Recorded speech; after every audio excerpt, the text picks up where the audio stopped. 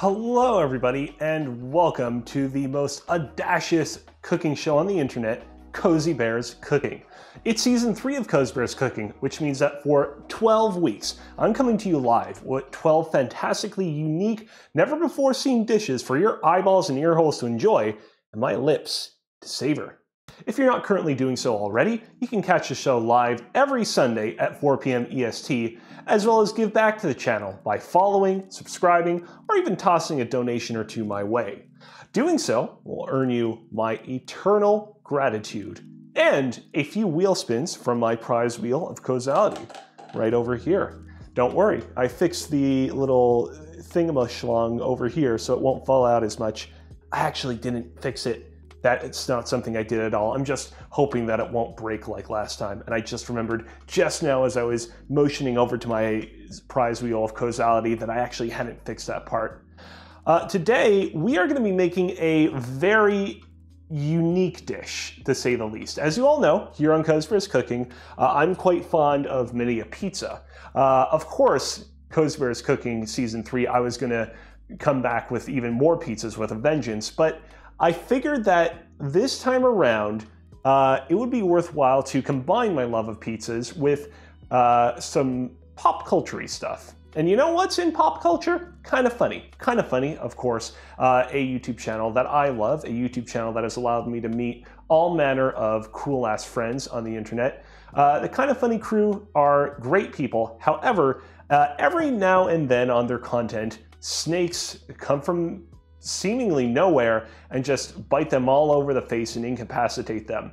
Sometimes they even cut their power lines and render them without internet. It is a whole shebang. And so I figured today uh, I would pay tribute to the greatest nemesis uh, that the Kinda Funny crew faces on a daily and weekly basis and combine that with my love of pizzas to make what I am calling snakebite pizzas. Just a quick heads up right here, right off the bat. No there is no snake in these pizzas. You'll understand exactly what these pizzas actually are once I begin assembling them. Um, let me oh, go ahead and grab my phone here real quick. Unlike last time, uh, where I was relying on a cookbook to assemble the recipes I'm making today, uh, today I'm largely going to be relying on my phone. So, of course, I need my phone at hand. Uh, first things first, uh, we're going to start off by making some spinach dough uh, for our pizza. Uh, this recipe comes courtesy of a website called thecheerfulkitchen.com. Seems like a nice, cheerful place. Uh, to make our spinach dough pizza, uh, we are going to need six cups of all-purpose flour. I was trying to figure out how many fingers that was as I was putting my hands up. We are going to need one teaspoon of salt, uh, which I have right here. Uh, we are going to need two teaspoons of active dry yeast. I actually decided this time around that I would use uh, quick rising instant yeast. It's functionally like it'll provide the exact same uh, effect, except this stuff we won't need to bloom in water. We can just mix it directly into our flour.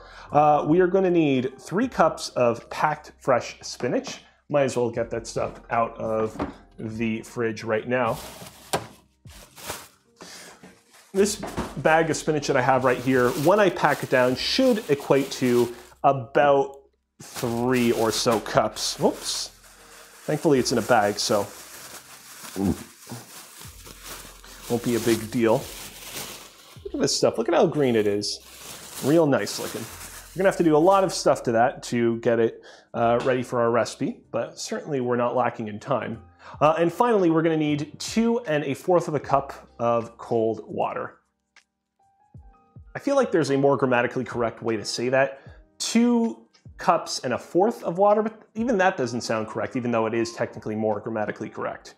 Okay, uh, so yeah, we're gonna be going ahead and making uh, this particular dough first off the bat. Uh, instructions, number one, combine the spinach and cold water in a blender and blend until you can't see any little pieces of spinach. Pour it into a large cup or container and put it in the freezer for five minutes. Uh, if making this ahead of time, you can just put it in the fridge until you are ready. Uh, first things first, the spinach that I have on hand, unfortunately, isn't quite fully prepared. Uh, while I made a point of cutting the stems off of it ahead of time, uh, unfortunately, it's still a little bit dirty, which means we have to clean it. Uh, good news, I went ahead and I made sure that our salad spinner itself was nice and clean ahead of time. So we're gonna go ahead and we're gonna dump all this gunk in here, like such. I adjusted the uh, color balancing um, compared to the way that things looked last stream so that things would look uh, a little bit less red. I think it did a pretty good job. I think it definitely looks better than how it was previously. Uh, we're to temporarily take this out, uh, and we are going to bring in our sink camera, of course. Our beloved sink camera. And we're just going to spend a little bit of time kind of using the nozzle uh, of the sink to sufficiently apply water to our leaves and clean them. Um, fun fact, the camera that I use for my sink cam is now on a new tripod. It's much more higher up, which gives you a much bigger and better view of the action going on here. I'm quite pleased with what I've managed to achieve with just this simple old Logitech C920 camera, if I gotta be honest. That camera right there that uh, you're currently uh, looking through to view me cleaning these leaves at the sink, that was the original webcam that I purchased to film myself streaming back in like, I want to say 2019. Yeah, it was 2019. It is amazing how I have simultaneously managed to kind of hold on to that camera and find new uses for it over the years, but also how it started, that started as my main camera and now is uh, the sink camera that shows whatever it is I'm doing when I cook at the sink. Things change, but also things stay the same, as they say. Okay. Oh, also, I don't think I really talked about it, uh, but I got a new apron. Uh, I got this for my birthday, which was on the 1st of February, about a week ago. Uh, because it's black, I decided to wear something a little bit more colorful underneath it, as opposed to in the past where I would wear typically black shirts so that they would contrast better with the more colorful apron I used to wear. Um, I liked the apron quite a bit. It was a good present. Okay.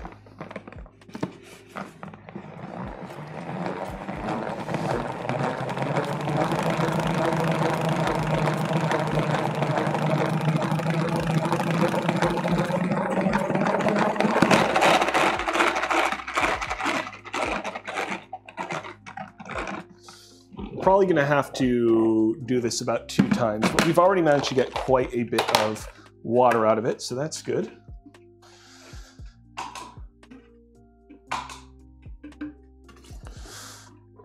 I've thought about getting the Elgato foot pedal because I feel like it would be a little bit more responsive than uh, some of these foot pedals that I have right here, but I'll, I'm to use them as much as I can use them until they really break.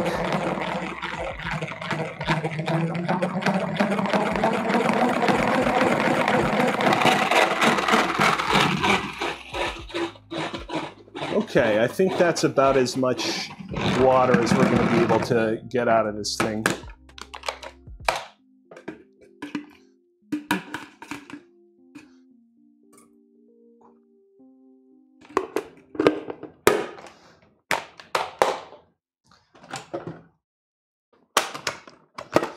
There we go.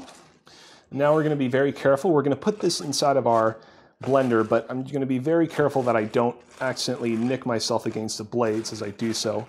Uh, it's going to be tricky though, because I really have to make sure that I can kind of pack as much of this stuff in.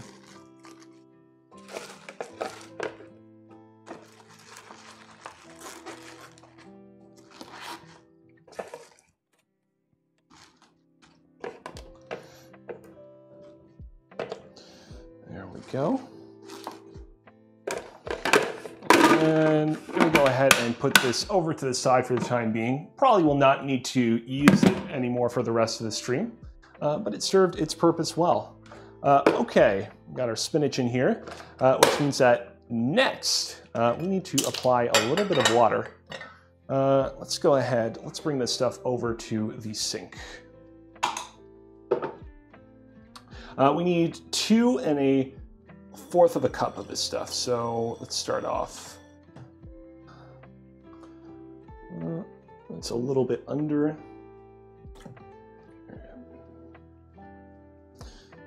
It's one.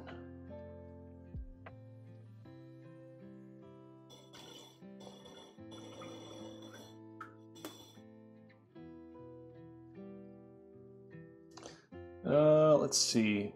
it's a little bit lacking.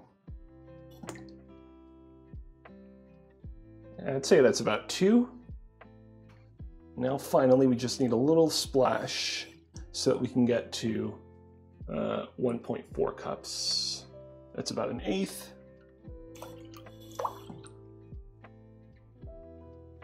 I'd say that's a little bit more. It's like a third. Uh, mm, okay, I think that's about good enough. There we go. Last little droplets over there compensate so that I won't accidentally have added too much. Okay. Let's put the top on the blender.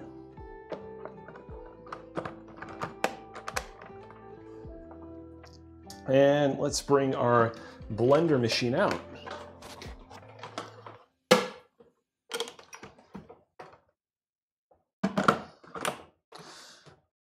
Now, just a heads up, if you've never heard a blender before, this is gonna be a little bit on the loud side. So you should probably sufficiently uh, shield your ears if you feel uh, the need to do so. I'm gonna more or less be able to tough it out without needing to do so. But for everyone else out there, you might wanna just have that little heads up.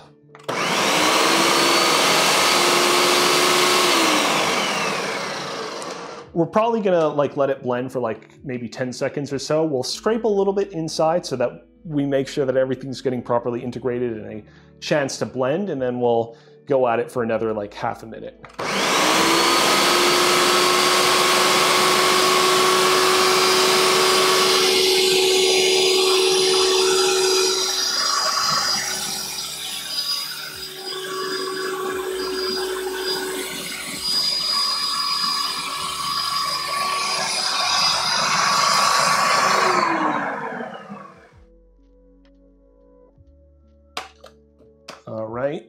See where we're at. Oh, there's actually like a big leafy bunch here that wasn't getting integrated at all in the blender. That's unfortunate.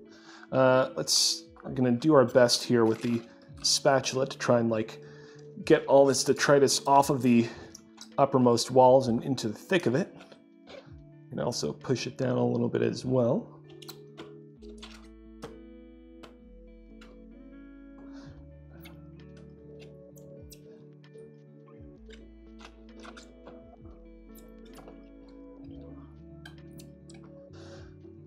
Go.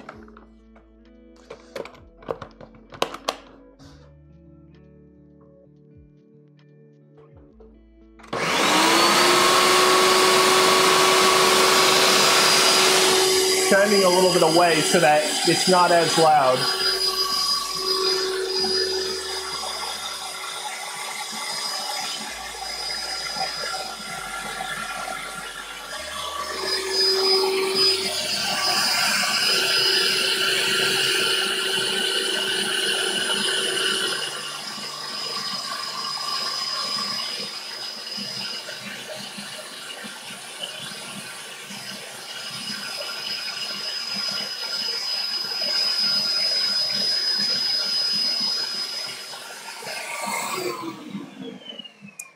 All right, let's see how things are faring.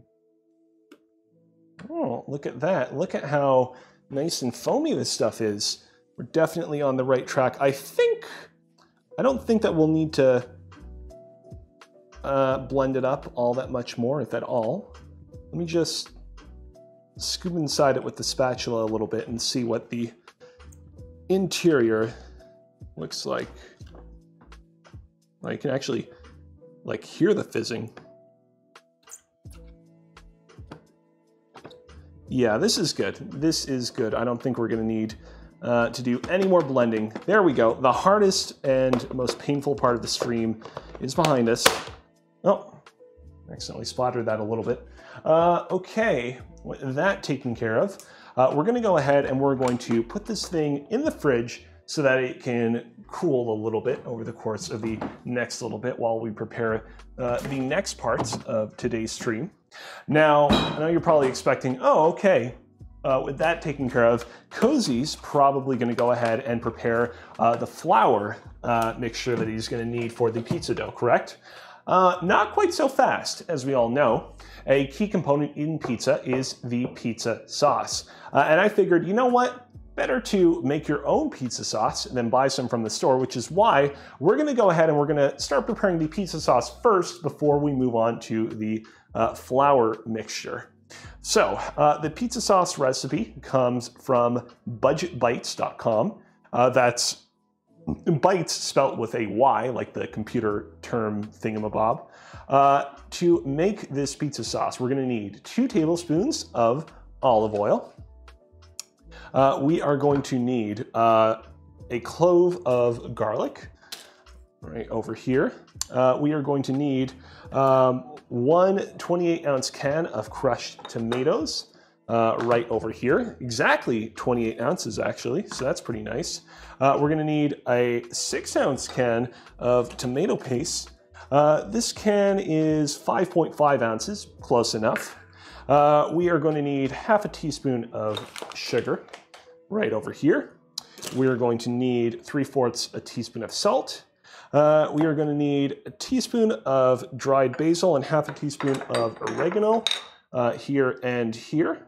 Uh, we are going to need freshly cracked black pepper, ready to go. And we are finally going to need, this is optional, but we're going to do it, uh, one pinch of crushed red pepper. You know that we're going to go with this. Okay, without further ado, let's go for it. Uh, instruction number one, we need to add our olive oil and garlic to a saucepan and cook over medium heat for one to two minutes or until the garlic is soft and fragrant.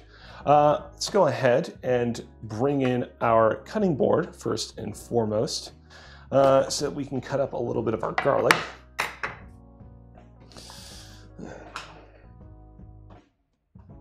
Now, normally in the past, I've discovered that if you want to grate garlic real quickly, best do so with a grater. Uh, because we're just dealing with one itty bitty garlic clove, however, we're just going to use uh, our knife in this one instance. Won't hurt us. Uh, there we go. Actually, before we do that, let's go ahead and let's actually heat up the olive oil in our pot first.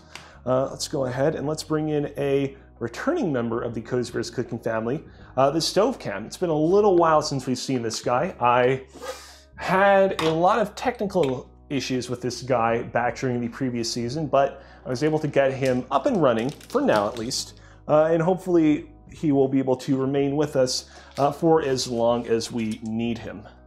Uh, but we shall see. We shall see. There we go. That is uh, one tablespoon of olive oil. That is two tablespoons of olive oil. Very nice. Just gonna add just a skosh more to make up for any residue olive oil that might have remained on the measuring spoon. Okay, perfect.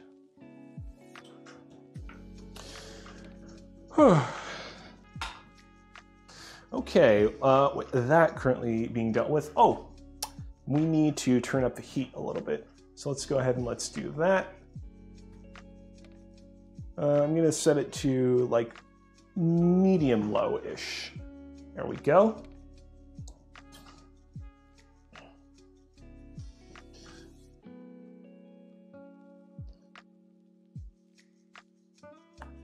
Number one, number two, I'm making like three lengthwise cuts like this. Then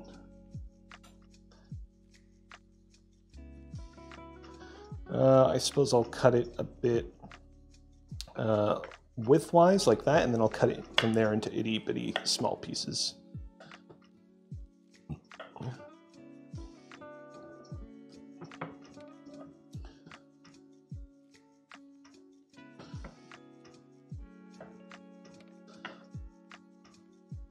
There we go.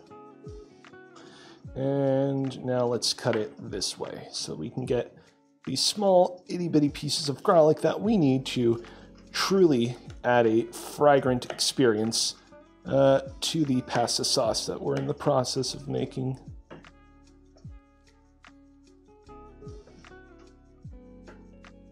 And there we go. I'd say that's a pretty nice little bunch of small crushed up garlic. There we go. Just gonna wait just a little bit more for the olive oil to heat up. Uh, hope that everybody's having a good day today. It's been a pretty decent day on my end. I've not gotten out all that much yet, but I was able to get a lot of chores done over the course of both yesterday and today, and actually play a lot of video games all the while. I've been playing a lot of Knack 2. I've been playing a little bit of Halo Infinite as well, Pokemon Legends Arceus. Uh, episode 100 of Press is actually coming up next week. Uh, on that episode, you can probably expect to hear a fair bit more about uh, Knack 2 and Pokemon Legends Arceus as well. Uh, let's see here. So the idea is that after uh, cooking the garlic over medium heat for one to two minutes, uh, we want to add our crushed tomatoes, our tomato paste, our sugar, our salt, our basil, our oregano, and some of our freshly cracked pepper, and as well our pinch of red pepper, pepper flakes. So basically all the other ingredients. Um, hello, uh, Only Famoli. Uh, why did I put the Stream Deck in a bag? I put it in a bag because quite frequently on this show, um, I'm making dishes that involve all sorts of powders like sugar, uh, like wheat, like, you know, what have you. I have wheat right here, for example, because I'm going to be using it in a second. Um, and I'm really concerned about the wheat accidentally dusting the Stream Deck and getting inside its innards. So I put it in a plastic bag so that nothing can splotch all over it. That's pretty much the idea. Uh, and I appreciate you tuning in, by the way. And not a problem at all if you want to play some video games while you tune in and watch me do my thing. I've certainly done the same with other streamers in the past. It's totally acceptable. All right, let's bring the stove cam back into focus. Uh, I think that our olive oil is more or less about where we want it, so let's go ahead and let's get our garlic in there. Uh, Echo, set a timer for two minutes. Two minutes starting now. All right, we're just gonna make sure that our, our garlic is like properly dispersed over there. Uh, while that's happening, let's go ahead and let's uh, crack open our cans. Oh, I'm happy that you were able to see me live. Uh, I mean, make no mistake, you know, totally fine if you need to catch a stream uh, after the fact as a VOD, but there's a special energy that comes with tuning in live. Can't be beat. Of course, while you're watching the show live, you can, you know, interact with me in the chat. But of course, you can follow, subscribe to me, donate, uh, do the whole shebang, and in exchange, I'll spin the prize wheel of causality over here, which will make me do all manner of things. That's a little bit of shameless shilling, but you know, it's important as a Twitch streamer that I let people in the audience know uh, what I'm all about and what they can get out of following or subscribing to me. All right.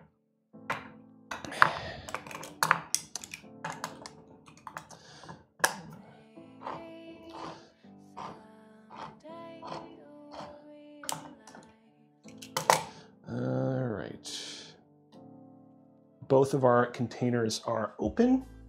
I put their tops in the sink. We just shake the garlic around a little bit. It's smelling pretty decently fragrant. Uh, I suppose I can go ahead and I can put some of the uh, salts and other spices inside the crushed tomato can. Uh, let's see. Let's start with the sugar first. Uh, we need half a tablespoon of sugar. Uh, so I'm just going to go ahead and I'm going to use the half a tablespoon measuring spoon. This is the only time we'll need to actually use sugar today, which is pretty outrageous considering how much sugar we had to use last stream. Like that. Oh, there we go. The timer is up. Echo, turn off the timer. Okay, and the garlic is beginning to become slightly brown, so yeah, it is time. Uh, let's bring the stove cam back into focus. Uh, first things first, we're gonna go ahead and we're gonna pour our can of crushed tomatoes and sugar in here. Uh, with the power of the spoon that I had just over to the side, I'm gonna scrape things up to the best of my ability and make sure that we let none of the tomato sauce that was in this can go to waste. Uh, let's see here. It's tough, but not impossible.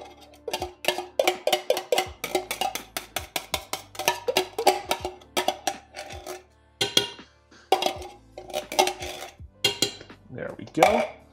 Uh, I'm just gonna quickly mix it up a little bit. Okay, number two, uh, we are gonna grab our tomato paste. Uh, I should make cooking videos on YouTube with my VODs. Uh, I've thought about that right now in terms of other platforms. I'm actually trying to focus more on TikTok than I am on YouTube. Uh, I recently put a, a, video up on TikTok of um, me checking out the dish that I made on last week's episode, the Pokemon Donuts, and that actually performed quite well over there. So I totally agree that it would be cool for me to do something on YouTube, but I kind of got to take it one at a time, and I want to see where TikTok will lead me. That's the current situation there. Okay, just trying to do my best to make sure I can get as much of the sauce as I can out of this thing. There we go. Uh, let's see. Uh, oh, you can uh, actually, if you do exclamation point TikTok in the chat, uh, you can bring up my TikTok account. It's at Alex Kozina. And also there's a link uh, below the stream for my TikTok account as well. If you click on that directly, it will link to it. All right, uh, what else do we need to add? Let's see. Uh, might as well go ahead and let's put in our pinch of uh, crushed red pepper. Oh, that's a little bit more than a pinch. Oh, okay, well, hopefully that won't ruin the dish. I don't think it was that bad. Uh, let's see. We need uh, a teaspoon of dried basil. Let's add that in next. I'm gonna use the half teaspoon measuring spoon twice.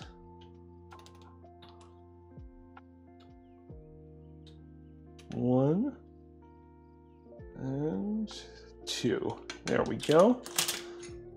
Ah, god damn it. You can't see it on camera, but one of the caps just fell on the floor. I got it though, and we're all good. Uh, what else? Oregano. Uh, need just a single half teaspoon of oregano, so let's do that.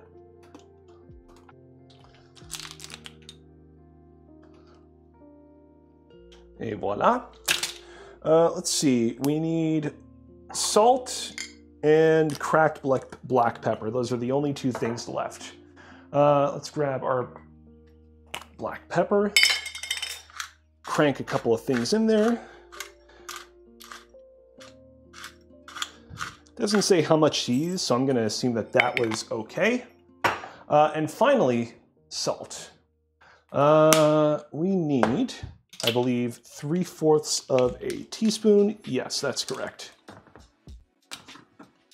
So we're gonna do our best to kind of like pour three quarter teaspoons in there. That was a little bit more, so I'll compensate going forward.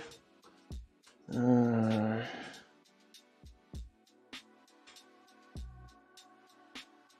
that's also a little bit more. So for this final one, I'll make sure that I don't go too salty. There we go. That's for the best. Okay. With everything in there, we're gonna go ahead and we're going to stir this bad boy up, make sure that all of our spices and oils and tomato paste equally integrate into the mixture before us. So it's a nice, cohesive, rich texture that will make anybody salivate the moment that they look at it, less taste it.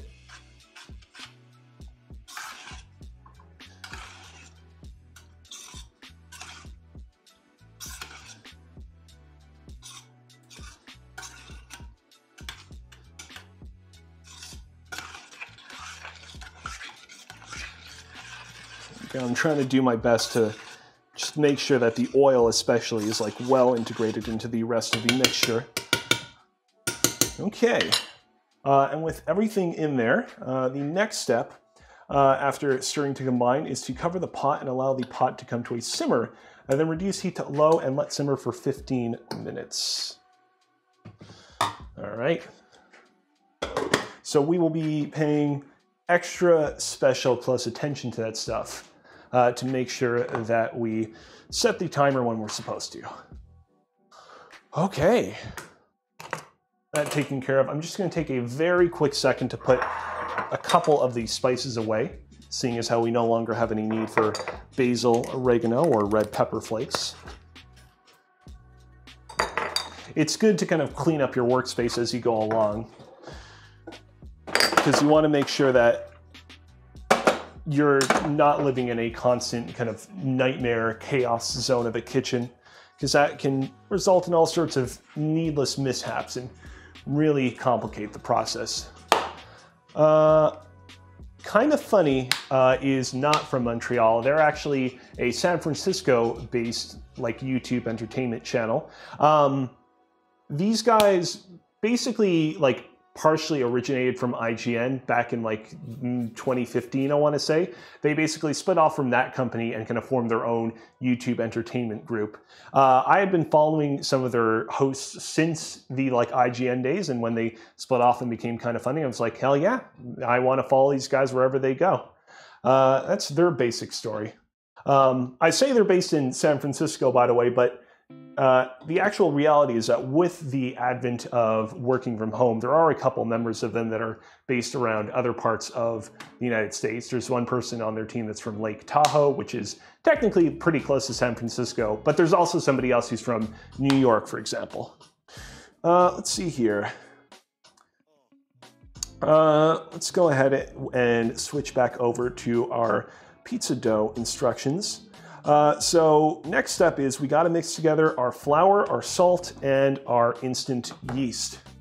Uh, I'm going to go ahead and I'm going to grab myself uh, a nice little bowl out of this cabinet right over here.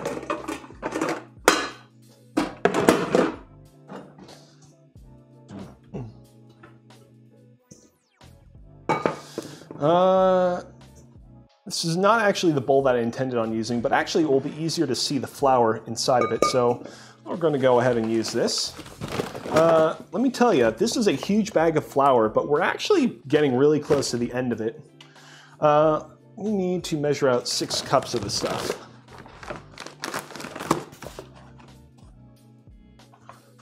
Let's see. This is about almost exactly two cups. Nice. Whoa, Silas, thank you for the subscription. Uh, because you subscribed, uh, you, sir, are going to get three spins on the prize wheel of causality. Uh, thank you so, so much. Uh, hello, Timij. Sorry if that's uh, not your name or not how it's pronounced. I'm just going to call you Tim from now on. Uh, is that zero zero flour or power flour? this is just uh, normal all-purpose flour. I know that for the purpose of making pizza dough, it would be it would make more sense for me to use zero zero flour. Because this is kind of a weird, like off-kilter pizza creation, though, I figured I would just stick with all-purpose flour for the occasion. Uh, uh, only family says, I'm not gonna lie, I'm so jelly of your pizza. Oh, wait till you see the finished product. It is gonna be uh, quite the spectacle. Uh, I will get around to the first of your wheel spins in just a minute, Silas. Um, let me just measure out the rest of the flour that I need to measure out first. So this thing is not really, it's not quite at simmering point just yet. We'll wait a little bit longer. That's four cups total. Oh, feel kind of bad for Overwatch. I don't feel bad for any of the people that made working at Blizzard kind of an uncomfortable place, of course, but you know, Overwatch itself never did anything wrong. Okay. That's uh, five cups of flour. Now I just need one more. All right, this is a little bit over a cup, so let's put some of that back in there. Uh, there we go. And yeah, it's about a cup. All right, that goes six cups of flour. I mean, you know, with Microsoft's acquisition of Blizzard, you never know uh, what's in store for the company in the future. Maybe Microsoft's acquisition will really kind of turn the company around and make them into a better place. But at least right now, there are a lot of uncertainties about the company's future. Uh, all right, let's go ahead now that we've gotten all our flour in there uh, and spin our prize wheel for the first time. all right, one, two, three. Oh, animals are dumb. It's been a little while since we've gotten this one. Actually, we got it last week. It hasn't been that long. Uh, this is where for two minutes, I got to talk directly to you and tell you about why a random animal is dumb. Let's go ahead and let's get this queued up. Whew. Sorry, there are a lot of buttons on my Stream Deck. There we go. Okay, if anybody wants to suggest a random animal that I talk shit about here, you're free to do so. Uh, if you guys don't have any other suggestions, I'm going to go ahead and ask my Amazon Echo for it to supply for me. Hold on a second. Somebody just rang the doorbell. I need to go and check real quick and see if it's anybody important. Uh, nope, it does not appear that it was anyone important. All right, we're good. Echo, name a random animal. Here is an animal, a hagfish. A hagfish? Oh, a hagfish. Okay, I was like, I've never heard of a hackfish before. Hagfish, however, H A G F I S H. Of course, I've heard of that. All right. Echo, set a timer for two minutes. Two minutes, starting now. Ladies and gentlemen, the hagfish. Do I even need to go on for an additional two minutes to tell you about why the hagfish is a piece of shit SOB, no good animal? No, of course I don't. But alas, uh, this is what uh, Silas subscription forced me to do, so I'm here for the next, I guess, minute and 40 seconds at this point. I mean, look, if you're calling something a hag, you know that that thing sucks. If you're calling someone a fish, I mean, that's kind of a weird insult, but I suppose most people would identify that as an insult if you just blurted it out of the blue. If you call someone a hagfish, oh, you're really trying to cut deep. If you call a fish, an actual fish, a hagfish, you could call it anything else, but you decide to call it a hagfish, you know that you really just want to just staple gun a screw in there and just twist it in. I know that you don't use a staple gun to like shoot screws like that. They do have like a screw gun though, right? I, those, those things are pretty good. I mean, they're very dangerous, but they they're always really kind of cool, even though you never really get to see anybody use them in a cool fashion. I feel like there's like a real lack of like cool action movies where like screw guns or staple guns are used in kind of a cool way. I bet that Jackie Chan actually has probably done a couple of movies that involve those sorts of things. But anyways, uh, let's go back to the hagfish. Yeah, I mean, really, what else is there to say? My Amazon Echo could not have chosen a better animal for me to talk shit about right off the bat. Every now and then I get an animal that's like, oh man, talk about why the striped lion is a shitty animal. And it's like, I mean, I'm kind of pulling at hairs here. There's not really a lot bad to say about a lion, but the hagfish, I mean, this thing is just irrevocably bad. It was bad in the past, it's bad now, and it's bad forever. And that's why the hagfish sucks. All right, Echo, turn off the timer. Uh, do staple guns work underwater? Is it a spring? So probably. I don't know. Uh, Guppy1387, thanks for tuning in, says uh, they are slimy and long and ugly. Yeah, I figured so. I actually don't really have a good visual representation of what a hagfish even looks like. Uh, I think that our pasta sauce is more or less at simmering point. So I'm going to go ahead and I'm going to set a timer. Uh, Echo, set a timer for 20 minutes. 20 minutes, Starting now. All right. Um, it's entirely possible that the person that rang the doorbell earlier might have left a package. So give me just a quick little second. I'm just going to run to the door real quick and check if something's there. I'll be right back.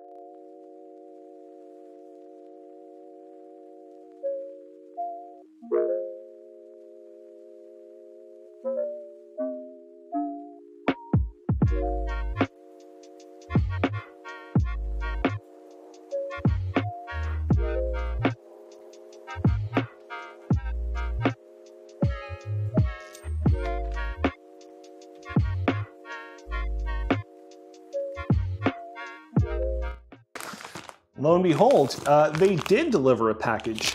Let's go ahead and let's open this up. I know I can technically tear this package open, but it's always more fun if you do so partially with a pair of scissors. Oh, look at that. It's another digital scale. Um, I actually already have one of these here at home, right over here. In fact, it's actually the exact same make and model. Uh, my mother was quite pleased with how this scale was turning out after I purchased it, so she asked that I uh, purchase another one so that they could have another one doing its thing at our cottage in the Eastern Townships. So glad we were able to solve that mystery.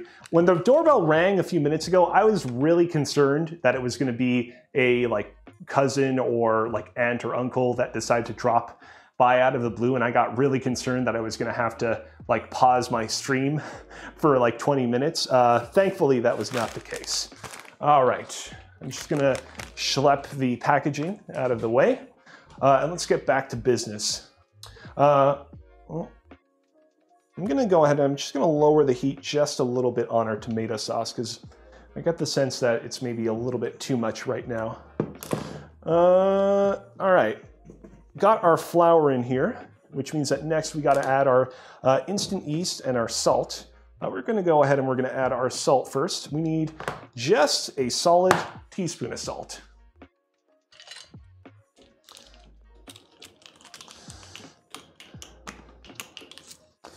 There we go. We're gonna measure this out.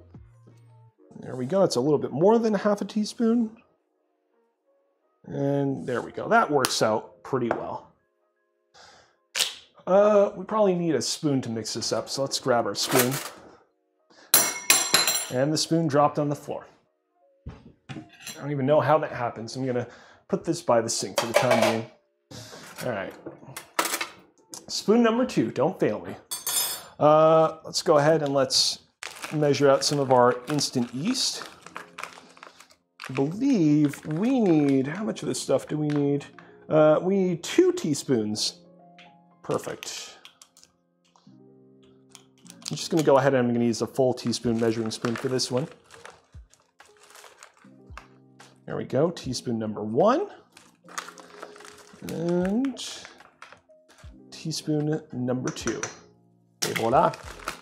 And I'm just gonna very quickly close this thing up and seal it back into its bag so it's not spilling everywhere. Yeast is one of those things where you don't really want it spilling into a lot of other foods unless you specifically are asking for it, you know? Okay. I'm Gonna go ahead and we're gonna give this a nice uh, quick little stir.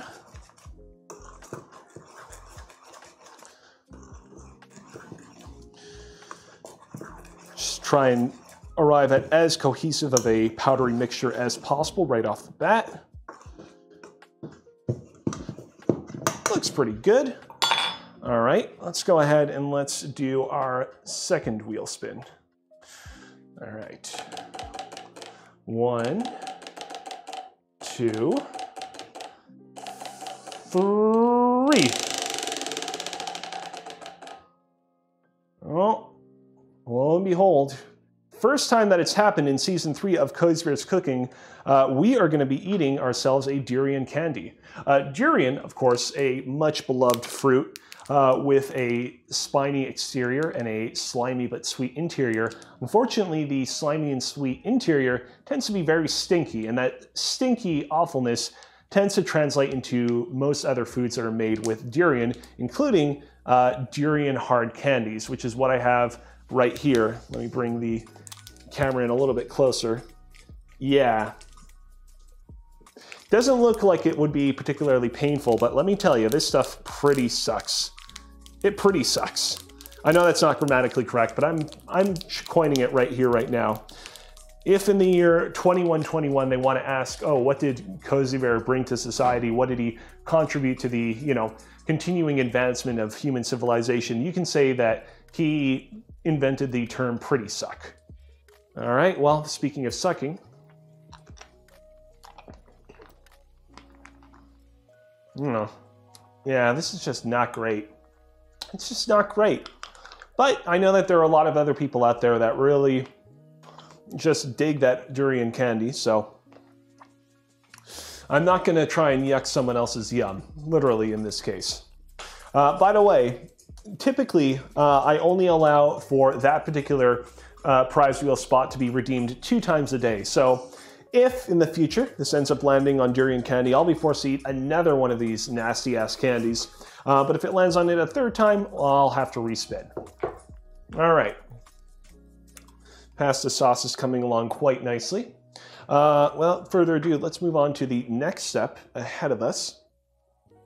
Um, let's see here. After our spinach water has been chilling for at least five minutes in the fridge, uh, the foam on top will have gotten a little bit frosty, if not frozen. That's particularly true if we were chilling it in the freezer, but that's not uh, the case in this instance. Um, we are going to want to use a spoon to mix up the foam into the thing. We'll do that as soon as we get the spinach water out of the fridge. Uh, and then it says that if we were to have an electric mixer, we would want to turn the mixer on low and slowly pour the spinach water into the flour mixture and then let it work the dough for like six to eight minutes. Uh, we don't have a stand mixer in our case, so instead we're just going to be kneading it by hand. Um, let's go ahead and just move things out of the way so that we have the space to do so. Um, last time uh, I did this, I found that I didn't need to use uh, any extra flour to help uh, unstickify uh, the dough in question, but obviously I have a little bit of flour over here that we can always rely on if we need to do so. Okay.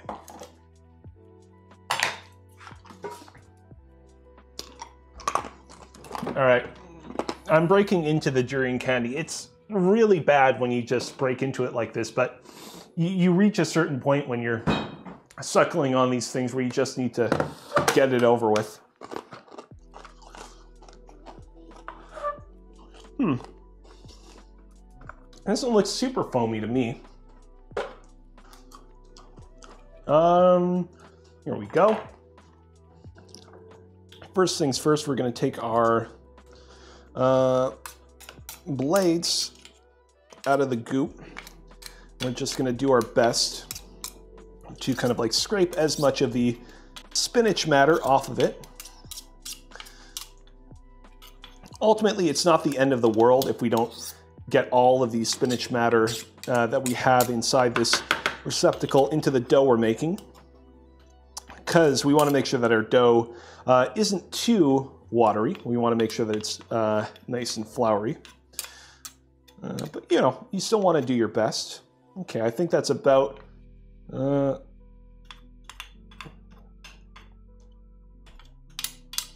that's about as good as we can do for now. Mm, hold on a sec. I'm just trying to make sure that I put the blade over here in such a way that I won't accidentally nick myself with it later.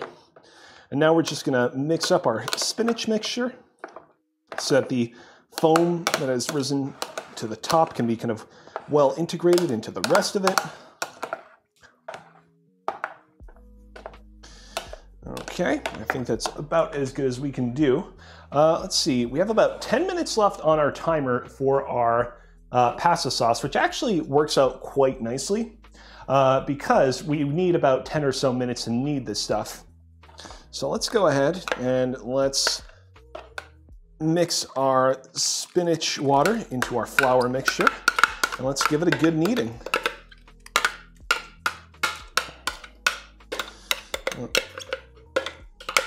Hold on a second. I'm going to do what I can with the spoon, and then I'll switch over to the spatula.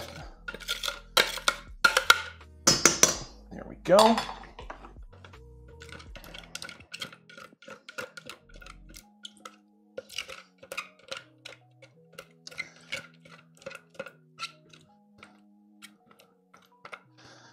Obviously, I'm not going to be able to get every single little speck, but again, we want to do the best that we can. Okay.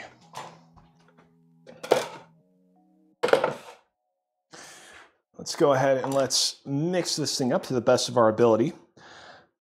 It's going to appear really shaggy for a period of time, but eventually, with enough kneading, we'll be able to get it to a point where it becomes pretty cohesive. Um, but it's going to take a bit. And let me tell you, my arms are going to get pretty, pretty tired. And I will do my best to try and cover that up by taking quick little micro breaks, stretching them a little bit here and there, make myself look real cool. But, well, let me tell you, I am going to be tired.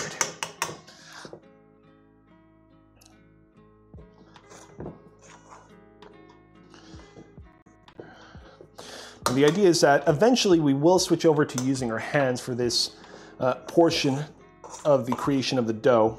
But we want to try and kind of mix up as much of the flour into the dough as possible during this step with our spoon so that our hands aren't becoming overly floury.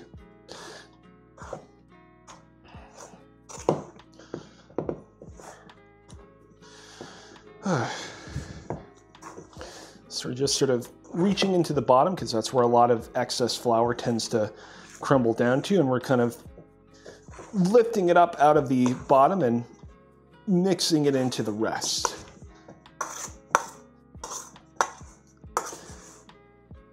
Okay. All right, I think that's about as much as we can do there. So I'm gonna begin shagging this together with my hands pasta sauce continues to come along well. Actually, you know what? Before I do so, I've been touching a lot of things, including that package which was left at the door. Before I go ahead and shag together my dough, uh, let me just give my hands a very quick little wash. There we go.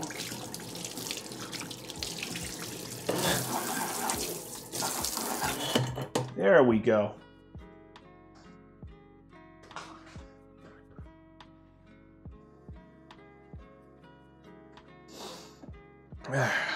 All right. It's about, there are about seven minutes left on the clock. I thought I'd be able to start actually like, you know, working the dough with my hands a little bit sooner. So after the timer beeps, I'll give myself like another like minute or so to kind of work it. We want to make sure, uh, we'll know that our dough has been sufficiently kneaded when it becomes very kind of pokey and elastic, which is obviously something that's a little bit difficult to see on stream, but Obviously, I'll be able to know with my hands when we get there.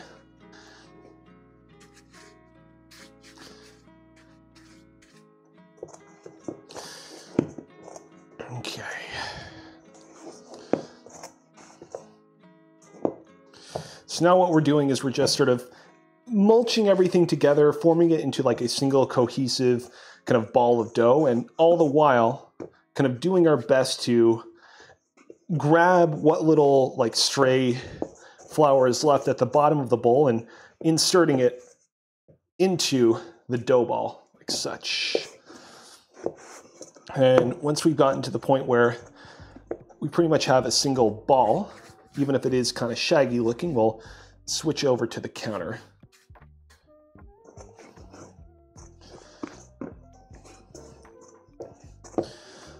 I think I think we're there. Yes, I think we are there. There we go. Not a lot left at the bottom of the bowl, which I'm gonna move out of the way. All right, let's begin kneading this stuff. So what we like to do is we like to kind of fold this thing over itself and then push it forward with the palms of our hands like such.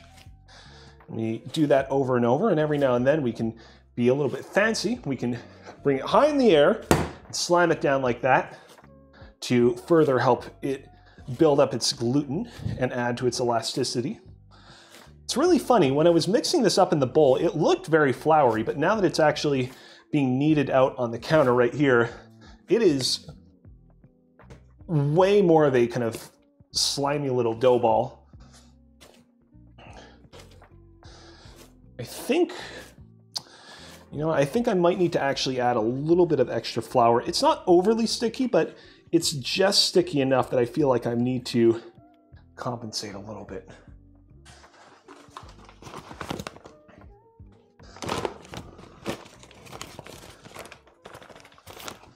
Let's just add just a little bit. There we go.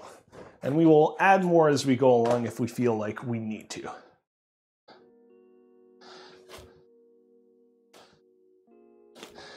All right. voila.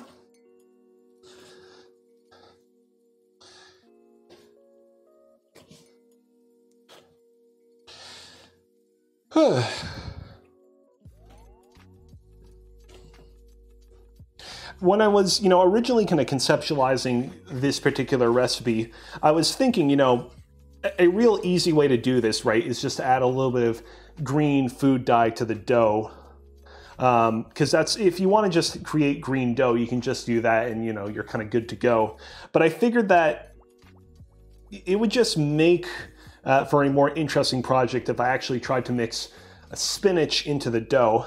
I know that some people are really kind of repulsed by the idea. To them, a pure pizza dough doesn't have like any extra leafy greens or whatnot mixed in. But I wanted to give it a shot and, you know, see if I discovered that I had created an entirely new food uh, that I quite love.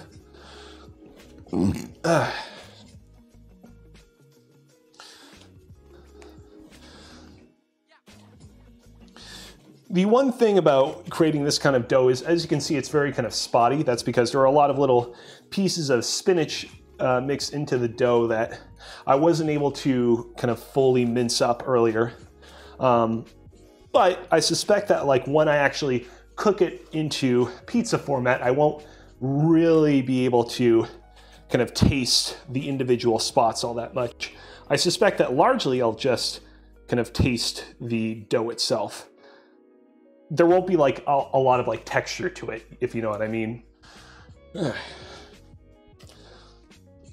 right. I think we're pretty good in terms of the uh, quotient of flour in this pizza dough ball. I don't think that we're going to need to add any more. There are about two minutes left on the timer, by the way. So just a few more minutes of giving this thing a good kneading, really kind of glutenifying it up.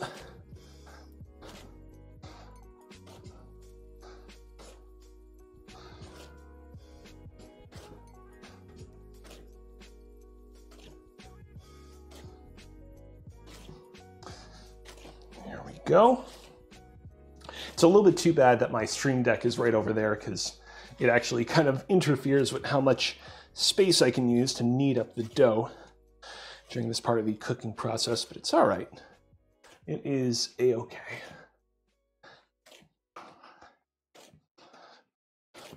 I can feel it, I can definitely feel the kind of gluten and elasticity beginning to build up in the dough.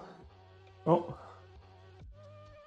I heard a little uh, thing of water escape from the pan of tomato sauce behind me. I was concerned for a second that it was beginning to boil over, but I think that some steam just managed to escape and became water again.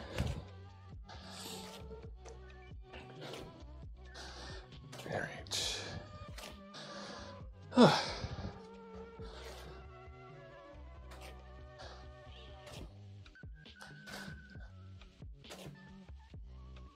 All right, there's about 50 seconds left on the timer. So that means we're gonna do this for like another 50 seconds. We'll take the tomato sauce off heat and then we'll do it for maybe like another minute or so.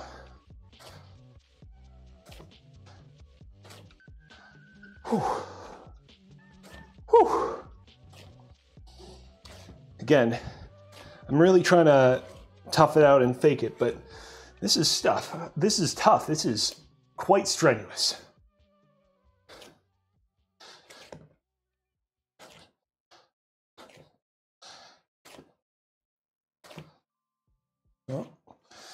10, 9, 8, 7, 6, 5, 4, 3, 2, 1. Echo, turn off the timer.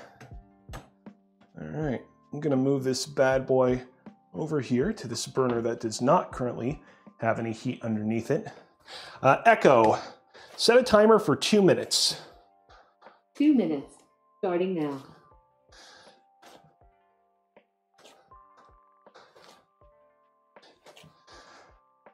Whew. Hope that everybody's day is going as well as it can be.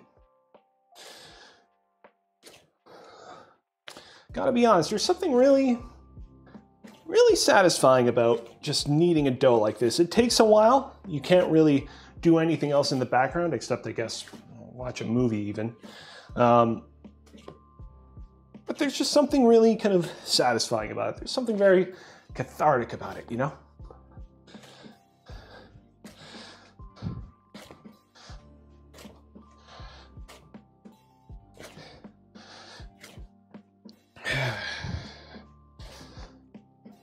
Can definitely feel this thing. I said earlier that I was beginning to feel it begin to kind of gluten up and become nice and pokey. It is especially pokey and stretchy and elasticy at this point. Oh man. Thank you to the yeast for doing your part in the creation of this unusual, snaky culinary creation. Echo, how much time is left on the timer? You have 40 seconds. 40 left on the seconds. Okay.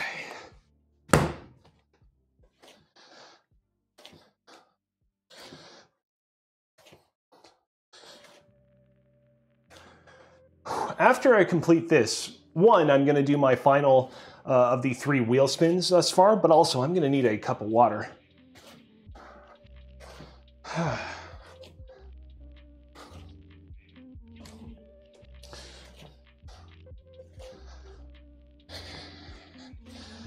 Okay.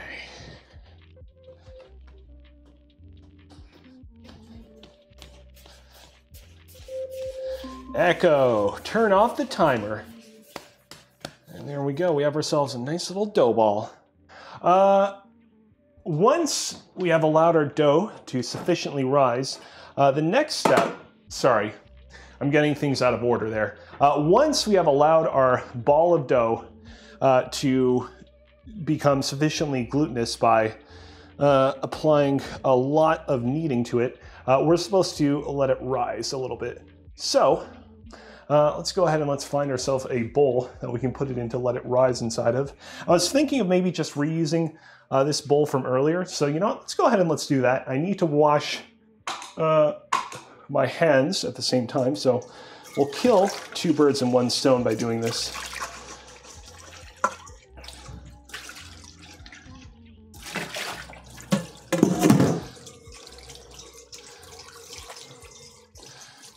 Wash our hands. And we'll make ourselves a receptacle for the dough to rise inside of all at once.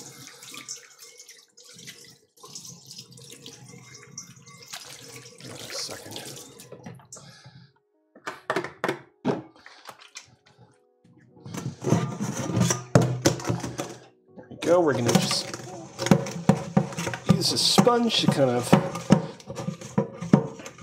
really clean out some of the tougher bits inside the bowl. Okay. I'm to switch to hotter water.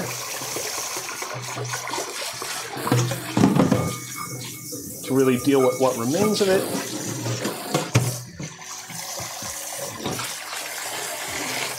It's a little bit tough for some of the other bits to be cleaned out, but it's okay. It doesn't have to be perfect for what we're going to do. Okay. I'm to switch over to a cooler temperature. Just do the final bit of cleansing to make sure that there's no soap. There we go. Okay. Unfortunately, uh, our dish rack is not currently uh, here at the moment, so we can't use it to uh, let it dry over time. So instead, uh, I'm just going to grab some paper towel. I'm going to do my best to use that to clean the exterior and interior of it. Make it nice and dry. ish for when we need to put our dough in. Don't want to overuse paper towel though.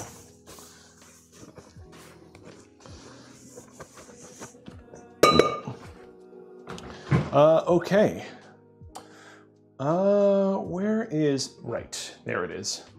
We're gonna dab some olive oil on this piece of paper towel right here so that we can sufficiently grease up the interior of the bowl.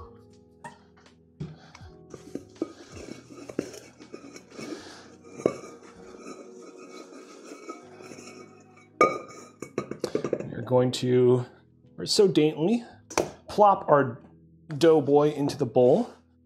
We're gonna cover it with additional olive oil so it's nice and greased up itself, like a big greasy boy. And then we're gonna uh, grab a little bit of Glad wrap. Uh, we're gonna grease up the underside of the Glad wrap with the same piece of paper towel. We're going to drape that over the bowl like such. I'm gonna add another little thing of Glad wrap over there so that it is truly fully entirely covered up. Damn it.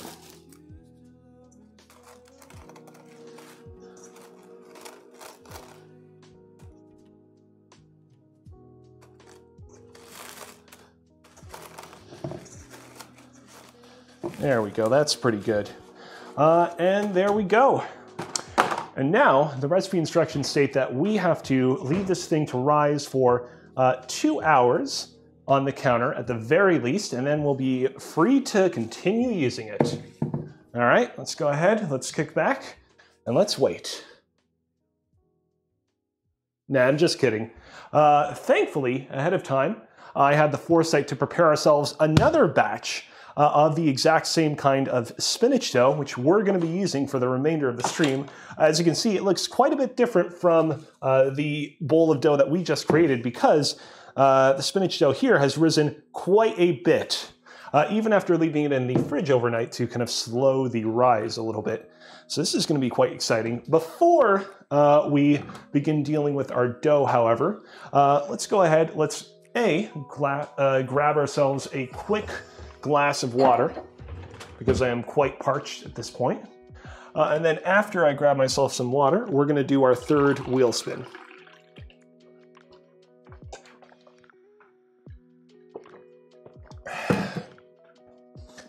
All right, hits the spot.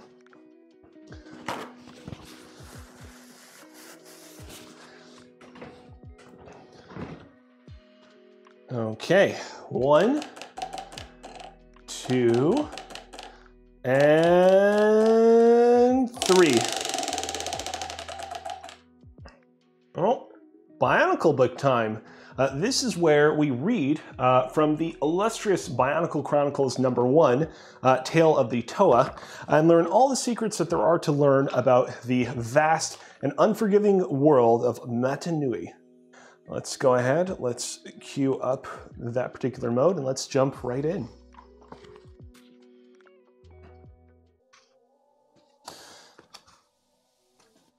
Uh, last time on Bionicle Chronicles number one, uh, the Toa had reunited for the very first time in millennia, uh, and were in the middle of a meeting discussing what it is they should do next.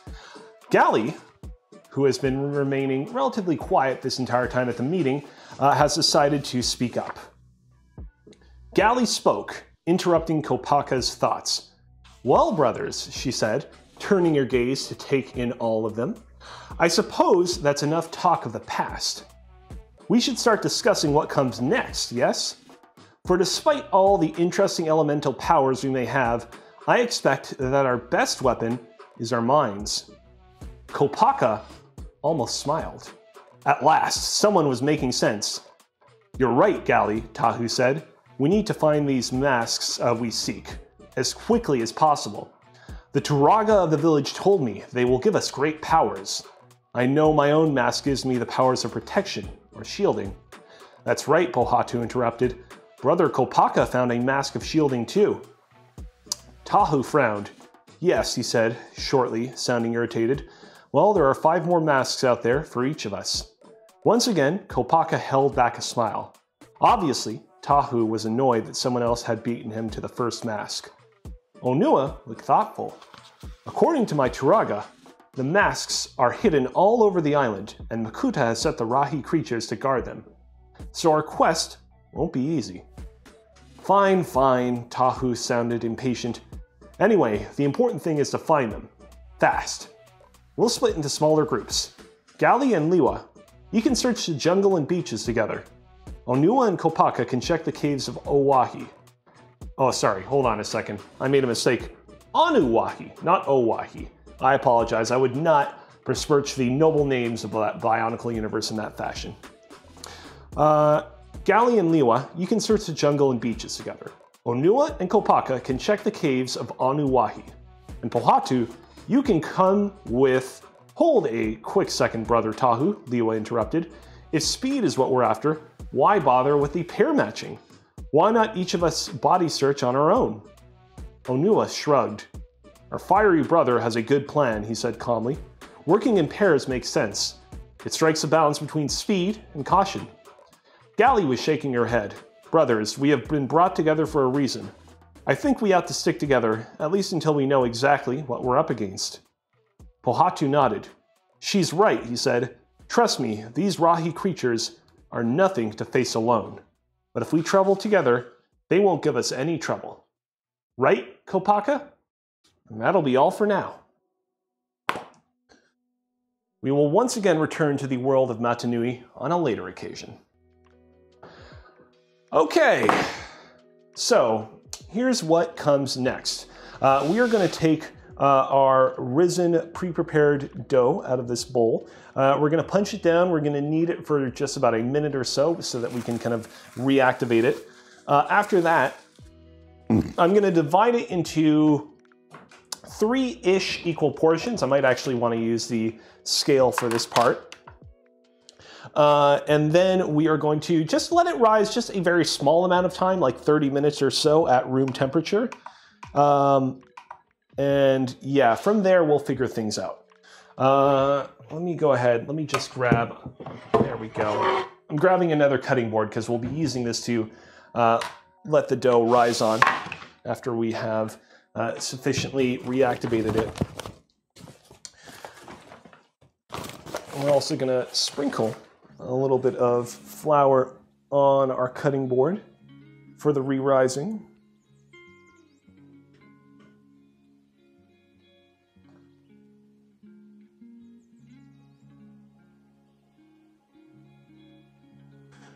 So that it doesn't stick to the bottom of the cutting board after it has risen. That's the idea, at least. Okay. Just gonna punch down it a little bit, help it release a little bit of air.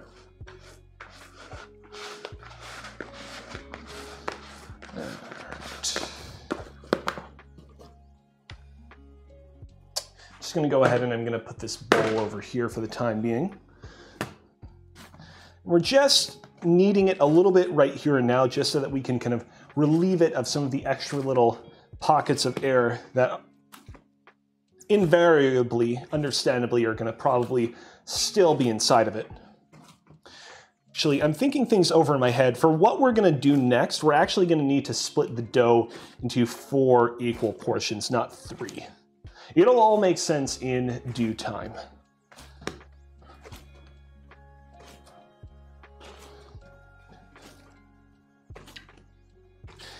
It's unfortunately not something that's really being picked up on the lav mic that I'm using, uh, but every single time I push it into the counter and knead it a little bit, you can hear the dough squeaking because little pockets of air are being released from it.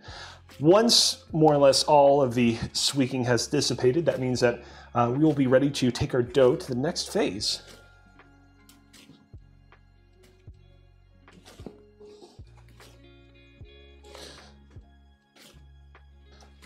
Just a little bit more. Oh, that was a big squeak over there. Let's do 10 more. One, two, three, four, five, six, seven, eight, nine, and 10. All right. Uh, let's go ahead. Where do we? Here we go. We have ourselves a knife. I'm Gonna go ahead and do our best to kind of cut this into two equal portions.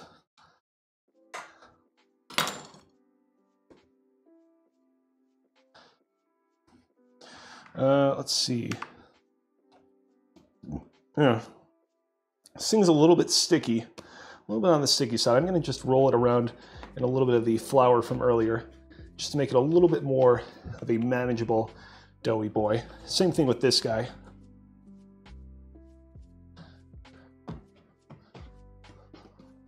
All right, let's see. This is uh, almost exactly two pounds.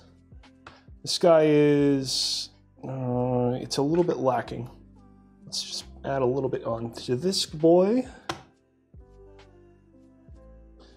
Let's see. Add a, keep adding a little bit more here. Let's see, that's uh, one pound and 13 ounces. And this guy is now one pound and 15 ounces. This is one pound and 14 ounces. And this is one pound and 14 ounces and just a little bit extra.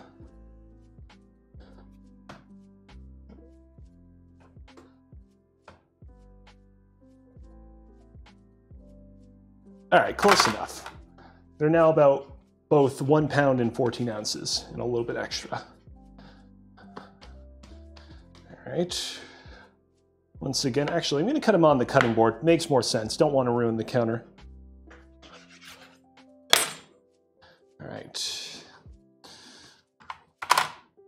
This one we have about 13.5 ounces.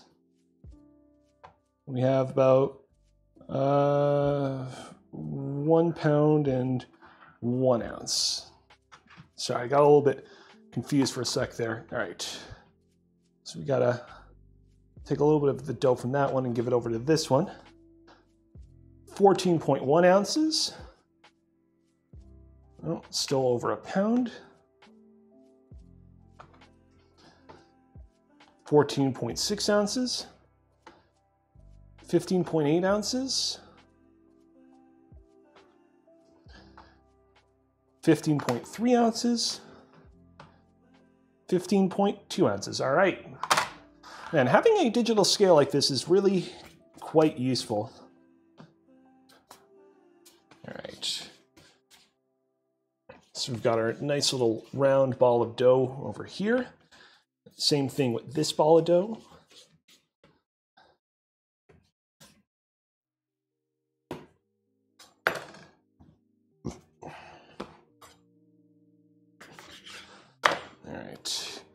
This guy is 15.3 ounces. This guy is 14.8 ounces. Pretty close. 15.0 ounces. 15.0 ounces. Perfect. That went by really fast that time. Okay. Uh, we used up a little bit of the flour that was on the cutting board, so I'm just gonna grab some more of this stuff and put it back on the cutting board.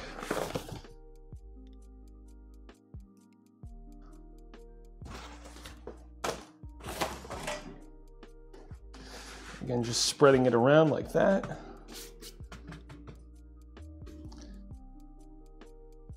There we go. We go. There we go. And there we go. Uh, and now the last thing that we need to add to this little magic trick that we're in the process of developing on the fly is we need to add a damp towel. So we're gonna take this dish towel right over here. We're gonna really wring it out until there is just the faintest bit of moisture left on it.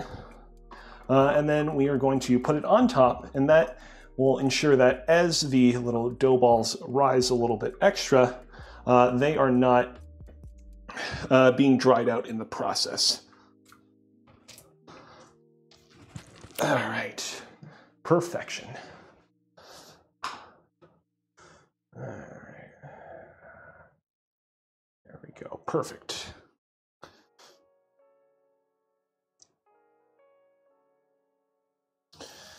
And so we've got that on there, like that. And we're gonna just put it underneath like that. We're just gonna leave it at like that. We're not gonna put on another timer. We're just gonna kind of do everything else that we need to do in the time being uh, to prepare for the next part of our cooking process. Oh. oh, there we go. We got a notification that our kitchen scale had arrived. Uh, give me a second. I need to pull the top off of this uh, sauce. I don't know why it was so hard to remove the top. Uh, let me grab ourselves a hot plate. Also, we don't need to show the stove view anymore, so we're gonna move that out. Mm, gotta say, smells pretty good, pretty fragrant, exactly how we want it to be. We don't want it too hot though, so we're gonna keep the cover off of it for the time being while we keep it here. Uh, we're also gonna want a lot of space to work with.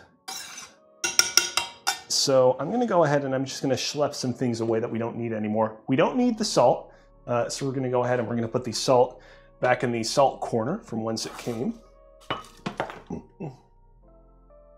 Uh, same thing with the instant yeast. We're gonna put that back in its cabinet uh, next to the uh, active dry yeast. Oh, hold on a second. We need to arrange this a little bit better. There we go. Uh, what else? We don't need any of our pastry flour. I brought this stuff out in case we would run out of the normal all-purpose flour. We do not. Uh, we're not going to need any more of our plastic wrap because we only need that to wrap up our dough ball. So that's being put away. Uh, what else? Uh, everything else can stay. Oh, hold on a second. Don't need any more sugar, so we're putting that away.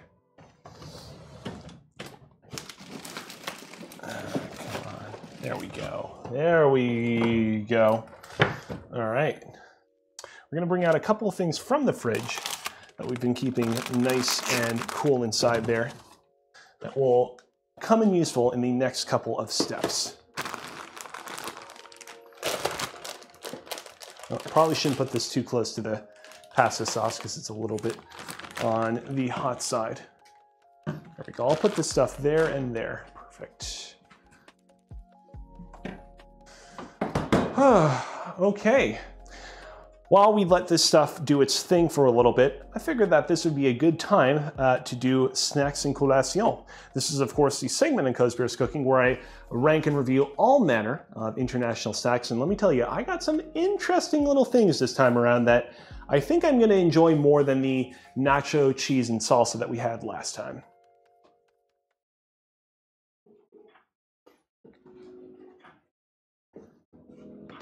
Hello, everybody. My name is Alexander Kozina, aka Kozibear, and I would like to cordially invite you to Snacks and Collation, the recurring segment on Kozibear's Cooking, in which I rank all manner of international and delectable snacks. Uh, last time around, I ranked Arizona branded nacho cheese and chips. And let me tell you, that stuff was not very good. I was a little bit disappointed. This time around, however, uh, I have a couple of things to taste test that I think are going to prove surprisingly good. I think that these things are really going to bring home the bacon, as you could say, uh, which is an ironic thing to say because these things definitely don't have any bacon inside of them. Ladies and gentlemen, allow me to introduce you to three exotic and unusual Capri Sun flavors that I found uh, at the exact same uh, international foods market that I found the Arizona chips at. This is Capri Sun Fun Alarm. This is Capri Sun Mystic Dragon. And this is Capri Sun Safari Fruits. I was floored when I found these Capri Sun flavors, and I did a little bit of digging. Turns out that these Capri Sun flavors are actually very popular in the Czech Republic. I say popular because I don't know if they're actually made in the Czech Republic as well, because clearly this text is in English. Maybe they like maybe it's like primarily made in the Czech Republic and they like bring it over to England and then from England they got they made their way to this international foods market. Either way, I'm pretty excited to try all three of them. I'm going to go ahead and I'm going to start with the um, Safari Fruits flavor because I think that it's going to probably be the most straightforward of all the three flavors, and I'll save the Mystic Dragon for last.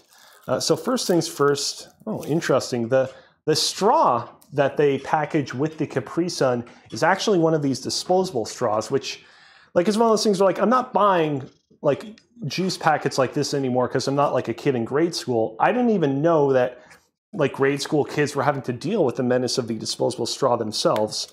So that's unusual. Well, it sticks in there pretty easily.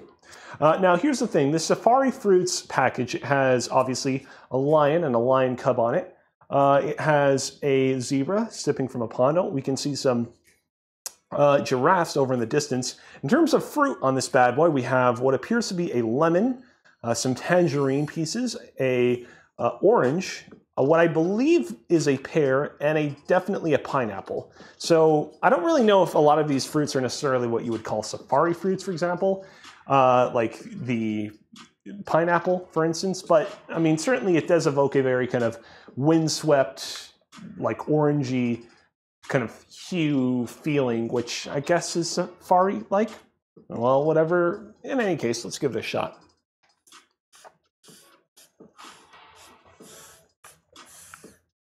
Hmm. Pretty good. Pretty good. This is right off the bat definitely more enjoyable than some of the other snacks that we've had on this show in the past. Doesn't really, I don't feel like this thing really kind of evokes the feeling of, it doesn't really directly kind of call back to the flavor of any of the fruits that we can see on the front of this thing. Oh, damn it. I'm looking at the instructions on the back and everything is in Czech. I don't think that there's a single thing in English here, so unfortunately we can't really make out what kind of fruits were primarily put in this thing. Uh, there's definitely a bit of a citrusy taste, but like things like the pineapple or the pear, I can't make out at all.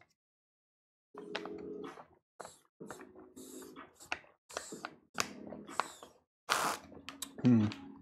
Probably a bit of a mistake to. Oh, hold on, hold on. I'm getting some pretty strong orangey afternotes.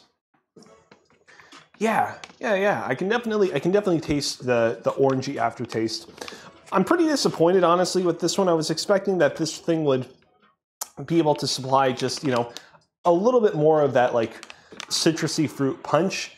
Uh, overall, not bad. Um, I was about to say earlier before the little bit of citrus aftertaste uh, hit me.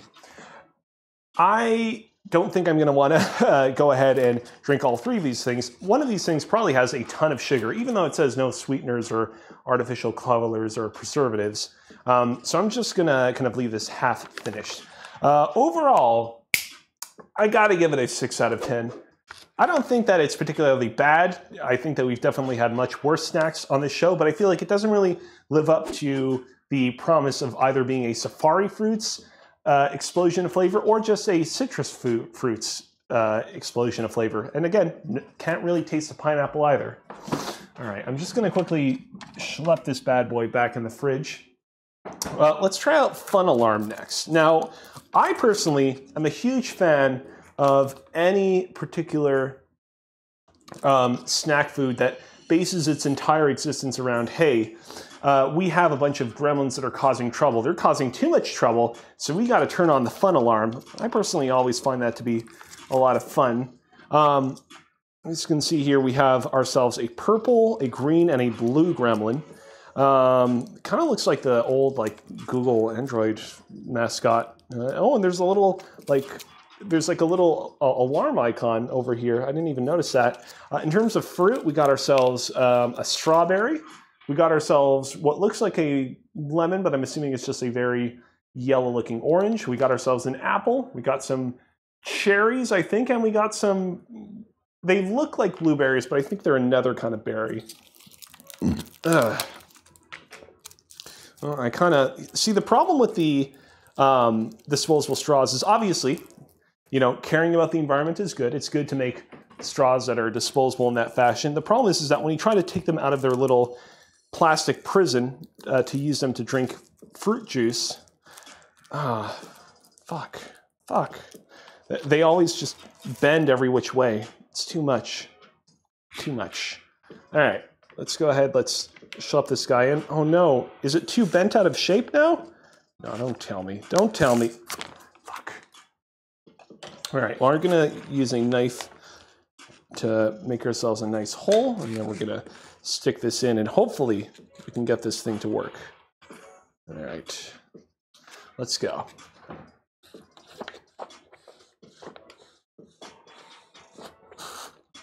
Hmm. Uh, this one definitely has a lot more of an appley taste to it. I'm not really tasting a whole lot of the other uh, fruits that are in this thing. I'm not getting any notes of like the berries or the strawberry or the um, even the lemon slash orange, but let me give it another little sip.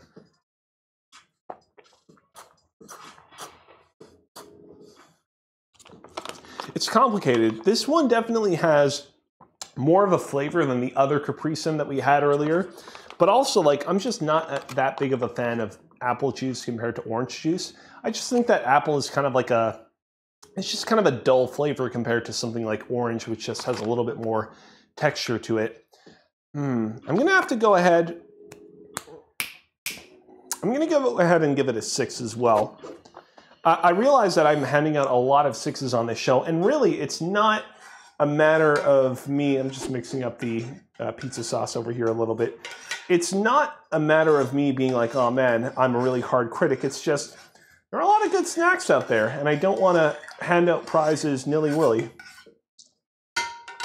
All right, we're gonna go ahead and we're gonna schlep the rest of the stuff in the fridge.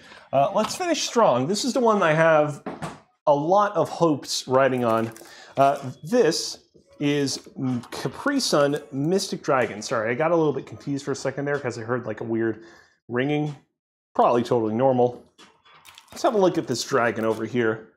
So you can see it's a uh, beautiful looking pink dragon. We have a bunch of uh, fruits alongside him, uh, including an apple, uh, several strawberries, some banana, and probably most intriguing, of course, a dragon fruit. Now here's the thing. I don't particularly care for dragon fruit. I don't think that it's a particularly tasty fruit, but you say, hey, we got this dragon flavored snack and it's got dragon fruit in it. I'm there. I'm all there and I'm all for it and I'm ready to have a dragon of an explosion of flavor in my mouth. So without further ado, let's try and jab our disposable straw in there. There we go. Worked like a charm. Uh, and let's go ahead and let's see if this dragon is all it's cracked up to be.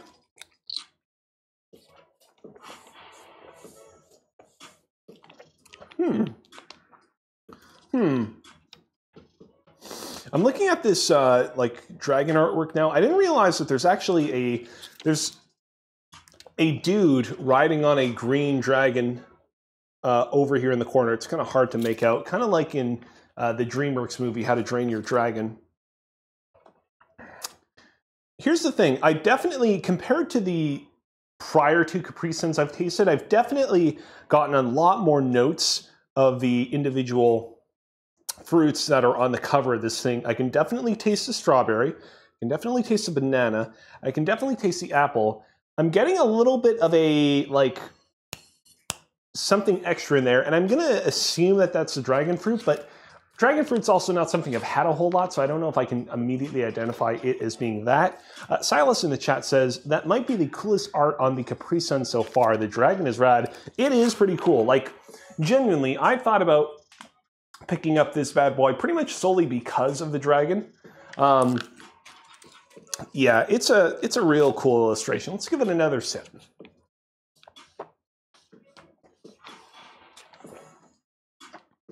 Hmm. See, the problem is, is that I feel like with the previous two Capri Suns, uh, you get through most of it. Doesn't taste like a whole lot, and then they have really good aftertastes. This one actually tastes like something for most of its duration, but then the aftertaste is just kind of weird. Mm. Overall, though, like, here's the thing. Every now and then on Snacks and Collation, the recurring weekly segment here on Bears Cooking, which is itself a show that happens every week, uh, we got to give our snacks extra points for featuring something extra and beyond the norm, uh, in addition to how they actually taste like. And in this case, you really got to hand it to that dragon illustration on the cover. And for that reason, I got to give this bad boy a 7. I think that it's not especially better than the other two Capri Sun flavors that we tasted tonight, but that dragon is real cool. All right. Uh, and with that out of the way, uh, I should mention uh, before I forget that in fact I actually got a fourth Capri Sun flavor. Uh, however, it's Capri Sun peach iced tea. Now, here's the thing: peach iced tea not perhaps as common of a uh, ta- uh, not as common of a. I was trying to say taste and flavor at the same time and came out weird. Not as common of a flavor as say like lemon iced tea, but I don't feel like this is particularly unique enough that we need to review it on the show. I will say. Um, some pretty cool looking uh, illustration on the cover of this one. We've got some polar bears and penguins playing around in the snow. I think it's a very fitting illustration for you know what is supposed to be ostensibly peach iced tea. Um, however, I think I'm going to enjoy this one on my own time. I also want to make sure that I'm not injecting too much sugar into myself all at once. So there's that too. All right. Without further ado, let's go ahead and let's bring Snacks and Collation to the end. Hmm. I'm just to go ahead and I'm to move this plate out of the way. All right. Uh, let's go ahead and let's see how much these bad boys have risen. All right. All right. Pretty good looking. Uh, I'm to go ahead and I'm going to move our towel out of the way. Uh, so here is where I reveal the plan for the rest of this evening. Uh, we are going to be making ourselves um, pizzas, but not just any pizza. Uh, we are going to be taking uh, these two dough balls over here, and we are going to be basically flattening them out into a typical pizza disc shape. And then from there, uh, we're going to take these other two dough balls and we're going to fashion those uh, into a bunch of snake shapes. I know you're probably wondering this entire time, you know, what's the purpose for making the dough green? It's because we're making ourselves some doughy green pizza snakes. And we're going to make ourselves a big, long, uh, dough pizza snake that's going to wrap around the entirety of the pizza's circumference. But in addition to that, we are also uh, going to fashion for ourselves uh, a bunch of smaller snakes, depending on how much dough that we have, which are going to go on the pizza themselves, uh, much like, uh, for example, what's uh, what's that green stuff that they put on pizza a whole lot? Right, bell peppers. I don't know how I forgot about that. I don't like bell peppers on pizza. I got to be honest with you, so you'll have to forgive me there. Uh, okay. First things first, I'm to go ahead and we're going to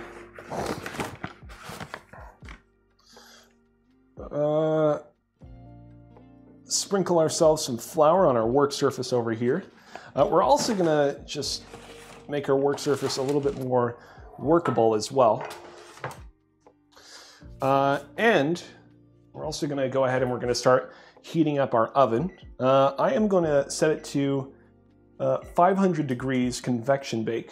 Uh, actually, hold on a second. No, hold on a second. We're gonna wanna set it to 525. There we go. Without further ado, let's go ahead and let's begin stretching out our pizza dough.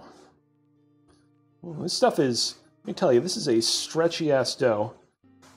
Definitely not difficult for me to kind of make it bigger, at least compared to the way that pizzas have been in the past.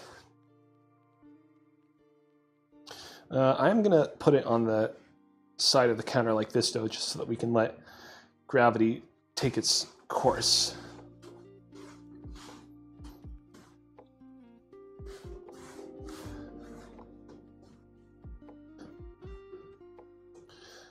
Uh, on second thought, this is actually a little bit more difficult than I was anticipating it to be.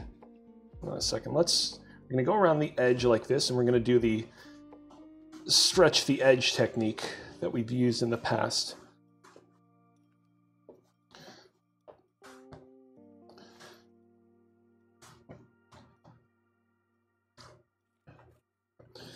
Unfortunately, the center of this stuff has gotten a little bit thin, but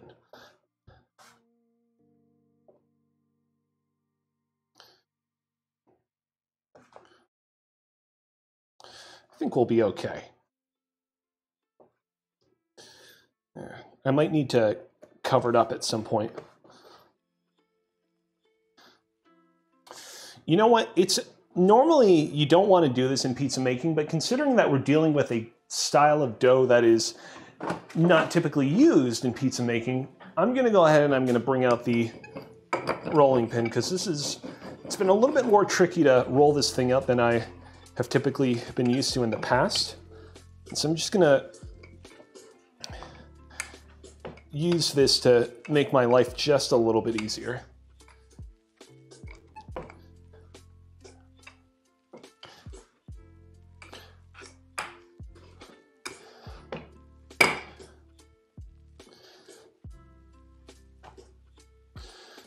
Go. Just trying to make sure that I kind of maintain as much of a round shape as possible.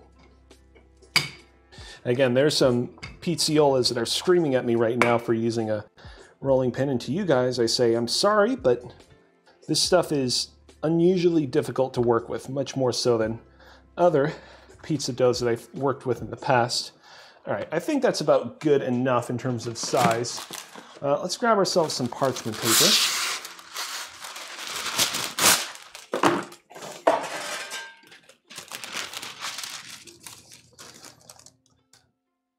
Okay, and this is where things get tricky. We have to make sure that we properly uh, bring this thing onto the parchment paper, which is uh, atop the pizza peel.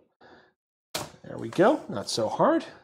And now we've got to just make sure that we kind of properly fashion it into a relatively round shape.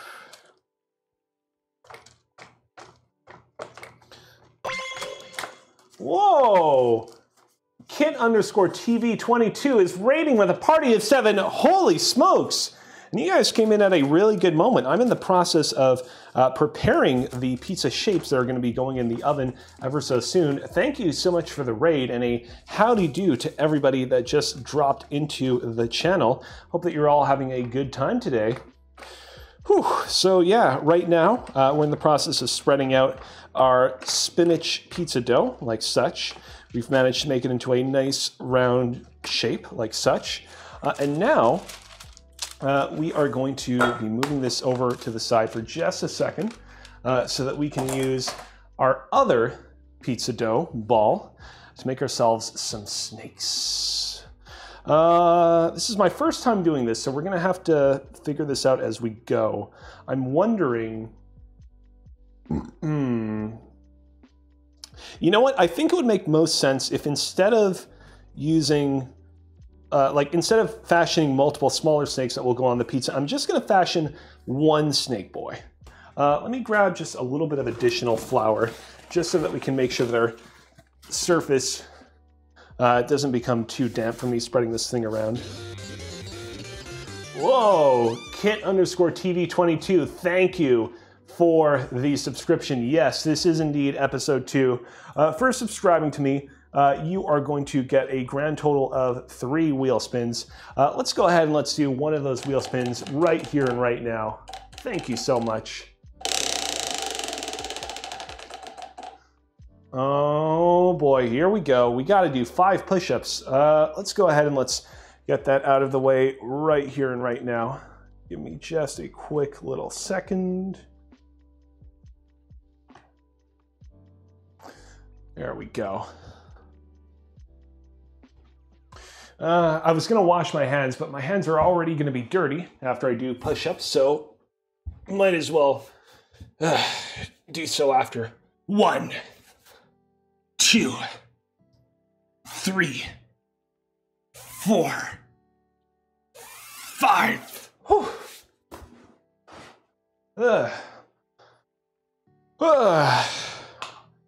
Uh, thank you for joining me in solidarity and doing push ups as well. You don't need to, for the record.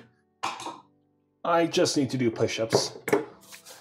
All right, I'm gonna wash my hands real quick. We're gonna form our uh, snake, and then after we have formed the snake, uh, we are going to attach it to the pizza. After that happens, I'll do my second wheel spin.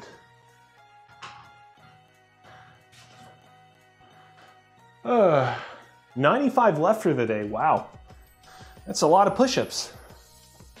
Uh, yes, I hope so that we get to read a little bit more from Bionicle Chronicles. That book is always a good time. Truly, the king of books, they call it.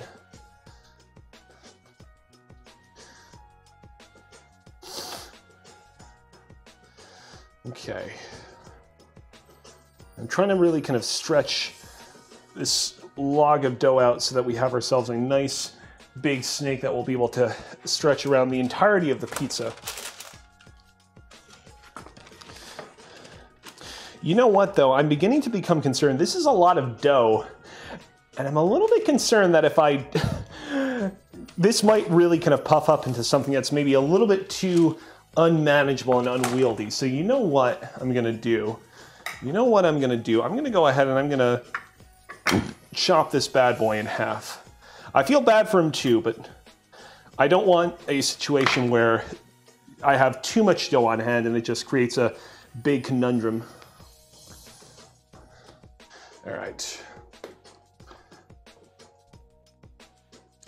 Uh, let's bring the counter cam back in. All right.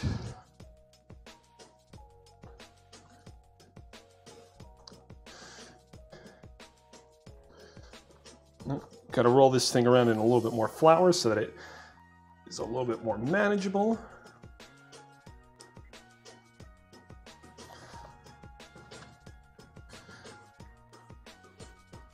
All right. Come on. Come on, I just want to turn you into a nice, big, delicious, doughy snake. Nothing more, nothing less. Let's see how we're doing.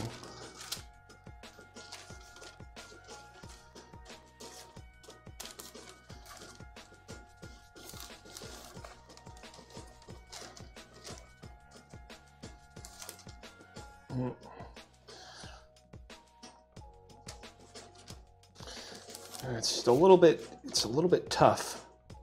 I'm gonna do my best.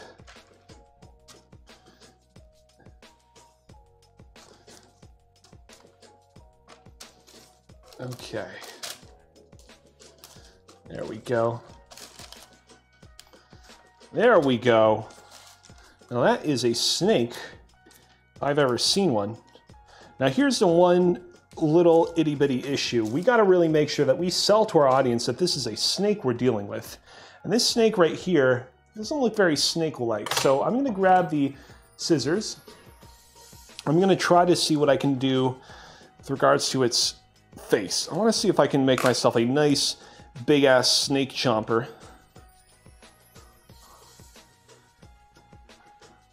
Now my only question is how do I make sure that the chomper stays open while this thing roasts in the oven because I want to make sure that people understand that this is a big kind of gaping snake mouth.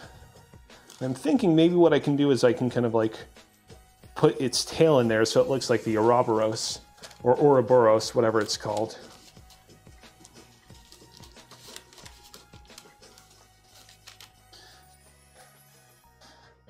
Now I'm just gonna go down low a little bit over here just so that I can adjust the side of the snake creation. This is not gonna look perfect. It's not gonna be absolutely pretty, but it's gonna, it's gonna get the job done. Fans of Kinda Funny will gaze upon this culinary creation on social media and will understand, oh, okay, it's a snake and won't be confused at all.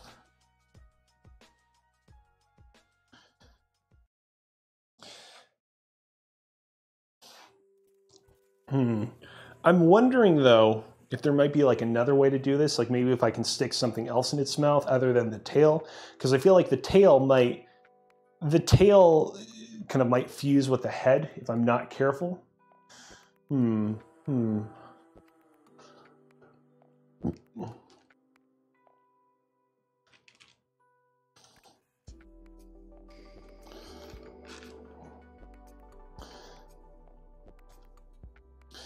You know what? I'm gonna, I'm actually gonna keep, here we go. I'm gonna keep the head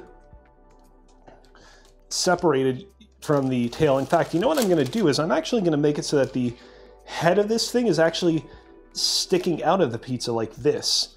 So it looks like the snake is like in the process of uncoiling, in the process of no longer being in a uh, round circular shape and, you know, off to explore the environment around it. There we go. Perfect. See? Just need to apply a little bit of brain power and you can solve any issue that so happens to uh, come your way. Of course, you know, after this pizza, we can kind of adapt for the next pizza if this doesn't actually turn out as well as it should.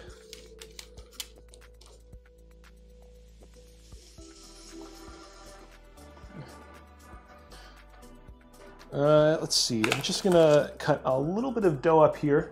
Uh, is this green food coloring or is it pesto? It's actually spinach. Uh, I actually mixed uh, spinach leaves and water uh, into the dough to give it the kind of distinctive green coloration that you see on camera at the moment. All right, uh, and finally, we want to make sure that this thing is identifiably a snake. So I'm to be uh, grabbing a couple of olives out of here, and we will be shoving those into its eyes. So people understand, oh, it's a snake. Ah, fuck. One of the olives fell on the floor. Yeah, it was, um, I wasn't certain how the effect would turn out, but I thought it turned out pretty well. Pretty well.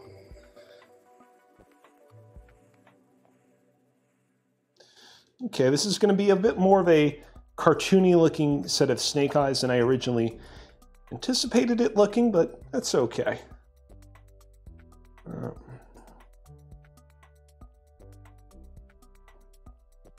hold on a second. That that particular piece of olive didn't really work out. Let me grab something else. Here we go. Perfect. Oh, I found the perfect one, but it escaped. Uh, come on.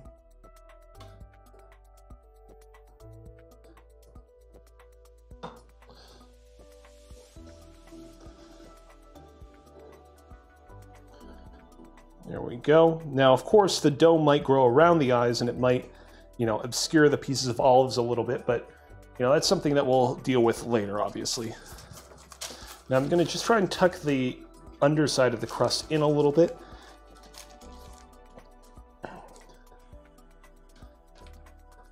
Also going to spread out the interior so that we don't have too much of a crust underneath.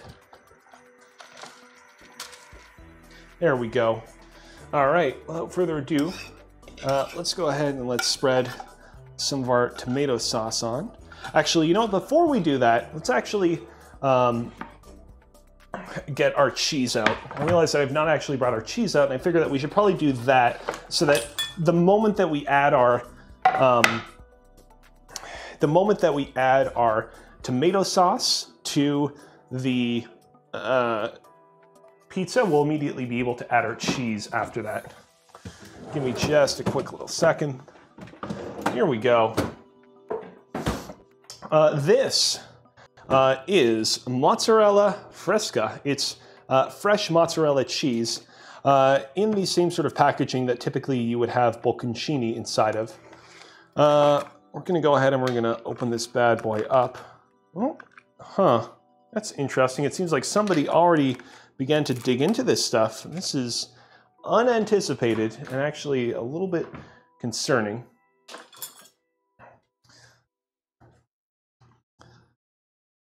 Let's see. Okay, we still got ourselves a nice big uh, ball of mozzarella fresca, albeit it's not as big as I previously thought it would be. Uh, probably should have, I should have spoken with the rest of the family in advance not to use this thing. Okay, uh, here's what we got to do. We got to cut this thing in half to make sure that we are using half and half on both pizzas. Uh, now here's the idea. To really make this an identifiably uh, Kinda Funny dish, I figured that it would be fun if we were to uh, make it so that the pieces of cheese that are going to go on the pizza uh, would be in the shape of the Kinda Funny logo, as we can see over here. Um, and I thought it would be even more fun if we were to put little pieces of olives on top of the little pieces of cheese to make them look like eyeballs, which of course is the number one thing that these snakes tend to go for whenever they're hunting down or killing the Kinda Funny crew. So that's where we're currently at. I'm trying to think what will be the best way to do this. Like I want to make a, like a bunch of like maybe like circular pieces of cheese. And so if I just maybe like trim down the sides of this log of cheese that I'm working with over here, I can maybe make something like circular and log-like that I can kind of work with over the course of the next few minutes. Uh, oven is currently at 389 degrees, so it still has a little way to go. So we're not pressed for time, really. All right, I think this is about as good as we can go. So all the little pieces that I'm cutting, I'm gonna put over here. And I can, you know, provide additional little cuts on them here and there to make them more uh, circular. These pieces of cheese will also like, they will definitely melt a little bit in the oven for sure. Uh, and obviously that will uh, make them become a little bit more circular like in the process. So it'll further, further drive home exactly what I'm aiming for. But hmm, I'm realizing right now that I might not have a whole lot of pieces of cheese to kind of work with. Right.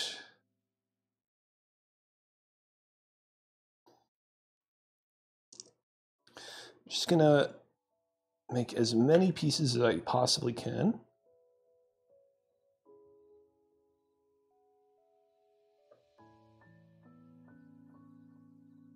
Go.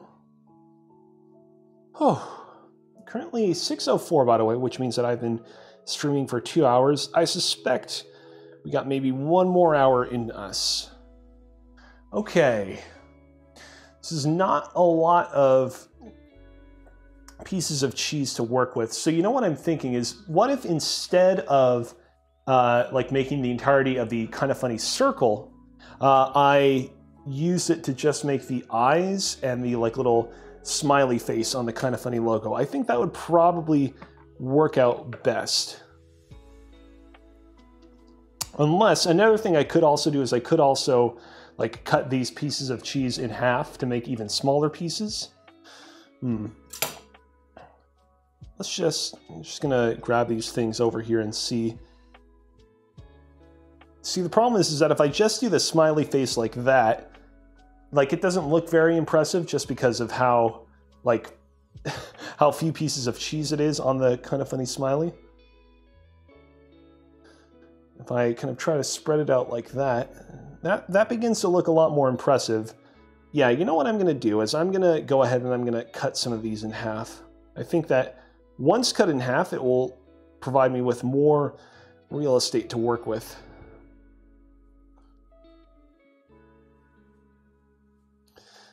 Okay.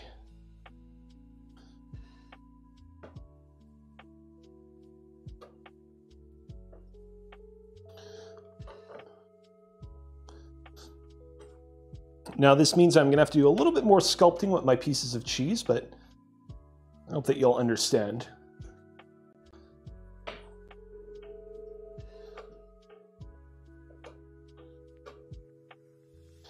Hmm. What I'm thinking now, though, is that now that I'm actually beginning to kind of like cut up these pieces so that they're super small, I don't think it actually makes much sense anymore to put olives on them. So I think I'm going to do without the olives in the end, which is okay. Because ultimately, I'm not exactly the biggest fan of olives to begin with. All right.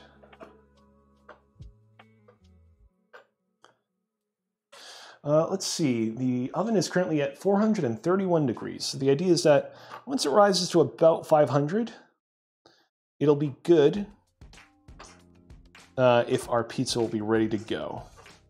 That's the current plan.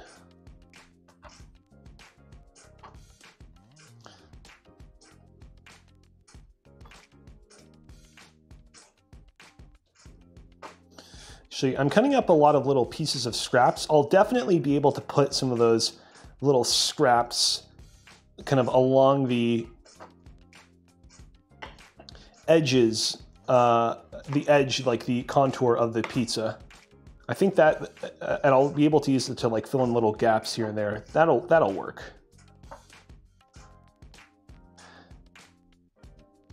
Actually, for the for the second time around, when I do the second pizza, I won't like make them into small little pieces like this. I'll just make them into strips that I can put around the thing. Oh, wait a minute. Hold on a second. I just forgot something. You know what I also have on hand? You'll live. Ah, very funny. I have mozzarella string cheese. I had completely forgotten about this stuff. Originally, I was thinking of maybe inserting this into some of the snakes I was going to be using, but then that kind of completely slipped my mind. Uh, I can put this around the kind of contour of the pizza as well. I mean, at least that's my thinking, but obviously we'll have to bend it and see. Oh, okay, okay. I'm thinking, you know what? If I cut these mozzarella string cheese pizzas in half, like such, that'll make them a little bit more workable. There we go. There we go. There we go. I think that'll work out for the best. Okay. Let me just push the mozzarella over here, and I'm just gonna use this side of the cutting board to cut a whole bunch more of these pieces of mozzarella.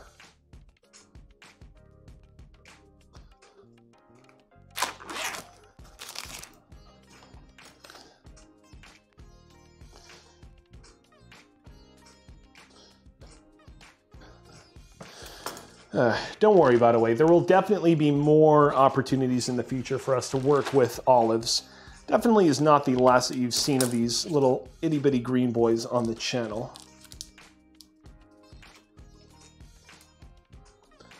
Uh, there we go.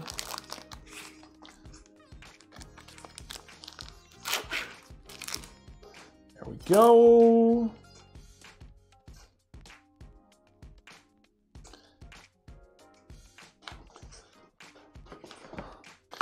Uh, let's see. I'm going to go ahead. I'm going to cut up three more of these guys. I can always cut up more later on if I feel like I need to.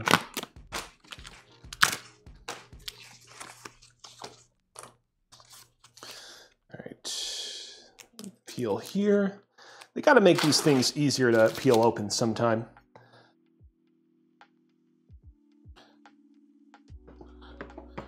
There we go. Let's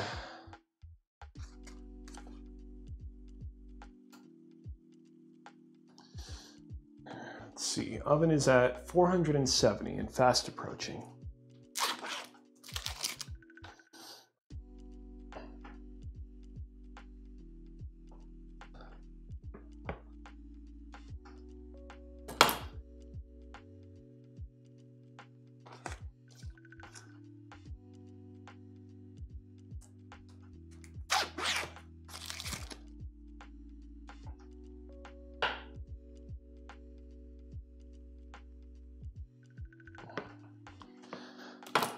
All right, without further ado, let's go ahead and let's start by adding our pizza sauce. Let me just grab a quick little. Mmm, this is good. This is good stuff. I'm gonna put two big spoonfuls of this stuff. I'm gonna do my best to spread it around without getting any on the snake, because the idea is that the snake is keeping uh, the pizza sauce in. Let me just there we go. Push it down on this spoon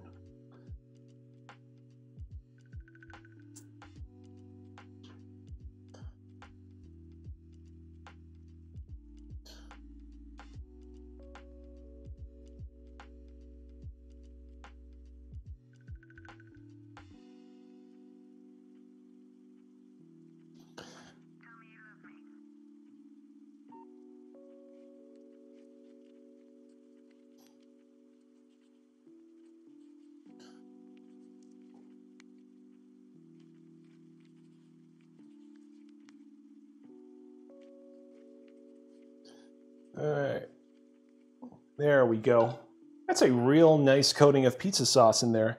Uh, and finally, uh, let's go ahead and let's recreate the Kinda Funny logo. Thanks to everybody, by the way, that stuck through me through all this. I had, um, every now and then on my streams, you know, I have to kind of reassess my plans and come up with some new way that I'm going to tackle an obstacle that I knew was going to be difficult, but I didn't anticipate to kind of give me pause like this. I knew that the process of like putting the cheese and toppings on these Kinda Funny pizzas was going to be a little bit complicated. Uh, I didn't really expect though that they would kind of force me to kind of completely rethink my strategy, but I'm glad that you stuck with me and I'm happy uh, at the prospect of knowing that the resulting pizza is probably going to be, well, just move these two little guys over there. Now, the idea is that maybe I can, yeah, I can probably definitely uh, position one of these pieces of cheese like such. Hmm. But I think I might need to cut it in half by a little bit. Now these, I need to get myself another half. Give me a second. Let's see. Okay. There we go.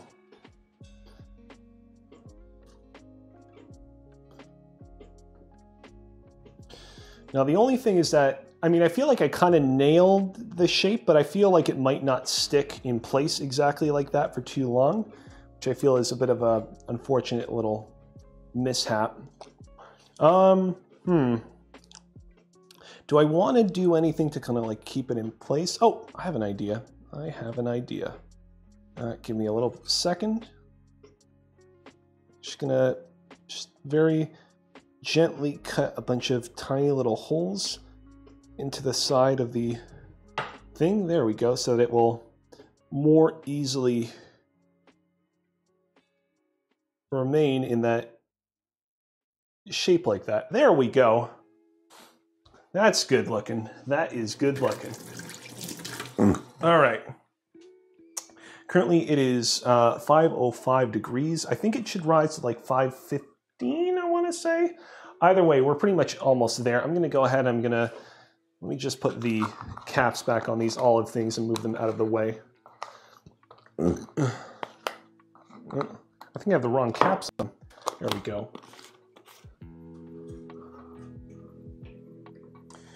There we go.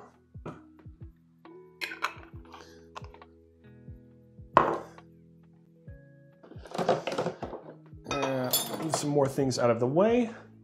All right, I think our oven is more or less where we need it to be. So let me just cut around a bit of the parchment paper here. The idea is, uh, like last time, uh, we are going to be leaving the pizza in the oven for like two or so minutes so they can properly firm up. then after it has properly firmed up, uh, we're going to remove the parchment paper from underneath it and then after the parchment paper from underneath it has been uh, removed, we're gonna leave it in the oven for an additional eight or so minutes. I actually, I already have an idea of how maybe I can uh, do the second uh, round of Kinda Funny Pizza, but we'll have to wait a few minutes for that to happen.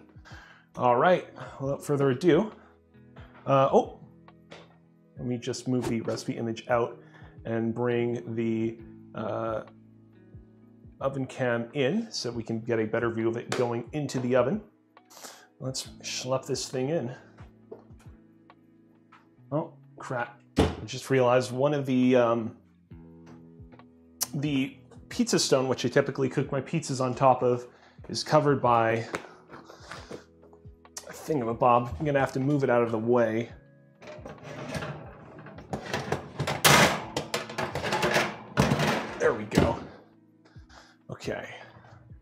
Now let's put it in for real.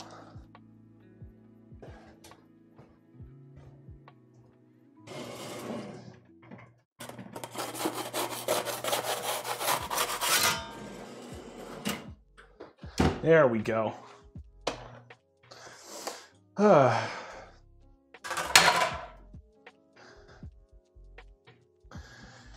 Whew. Echo, set a timer for three minutes. Three minutes, starting now. Okay. an Amazon package was delivered today. Yes, I know. I know that an Amazon package was delivered today. All right, we're gonna go ahead and we're gonna start preparing our second pizza. Last pizza that we made, we used a lot of tomato sauce and not a lot of cheese. This pizza is gonna be inverted. We're gonna use a lot more cheese, not as much tomato sauce will be visible. That's the plan.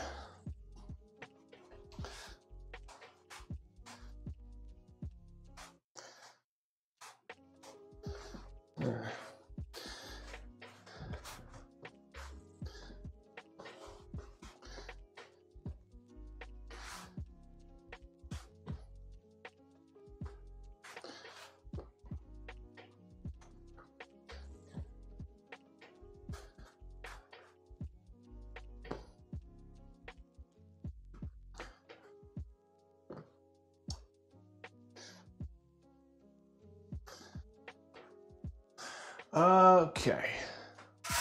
Uh, let's grab our parchment paper. And actually, you know what? Just to really kind of stretch this thing out, I'm just going to apply a little bit of flour to our rolling uh, pin. We're just going to do a little bit of that. Just so that I'll have more real estate to work with after I shift it over to the parchment paper.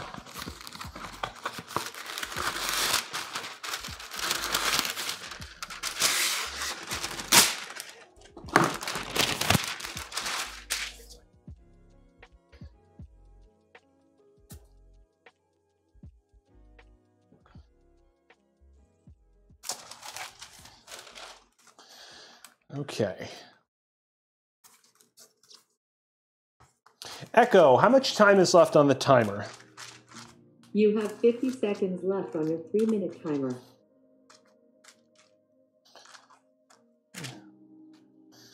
Fifty seconds left. Perfect.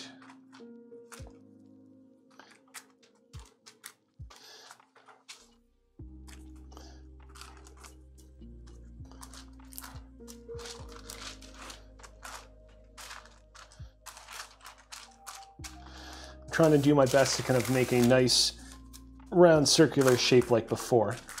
It's a little bit tough. All right, I think that's about as good as we're gonna do.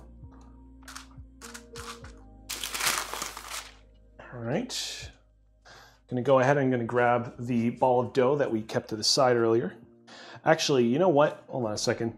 Timer is about to go off on the oven. We're gonna remove our parchment paper. When we do, um, I am also going to take the opportunity to uh, put that pizza dough over there in the freezer.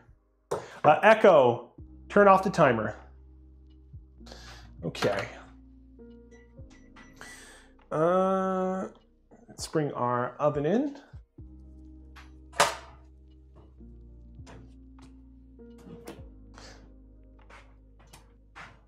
Ooh, look at that.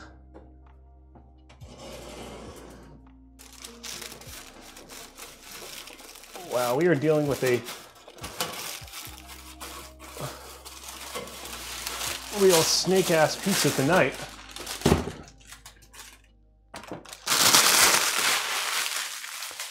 Echo, set a timer for six minutes. Six minutes. Normally I would set it for like eight minutes after this, but I want to just be careful. Okay. Uh, right, I said that I would package this thing. So let's go ahead and let's do that now.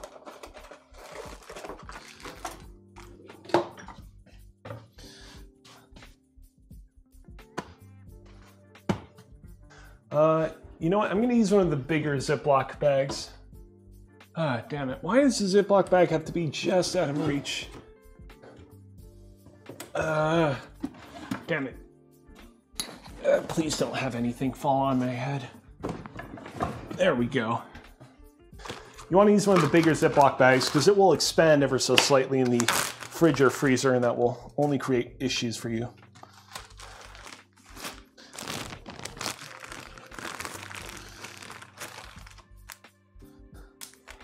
I'll be sure to add a date to the Ziploc bag later on so I'll know for future reference how long this thing has been in the fridge for.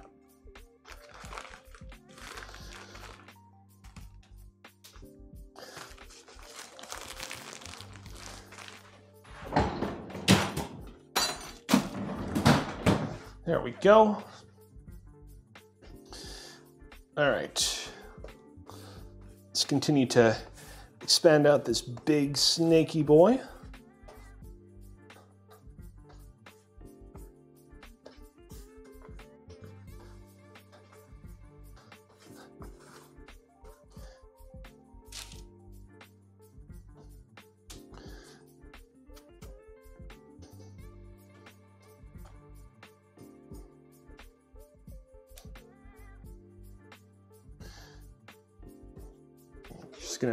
Gravity do its toll here to really make our snake all big and long.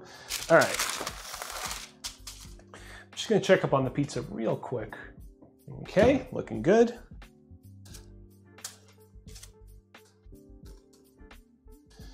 Now we're gonna complete our second snake pizza. Oh, damn it, it's not quite long enough. It's not quite there.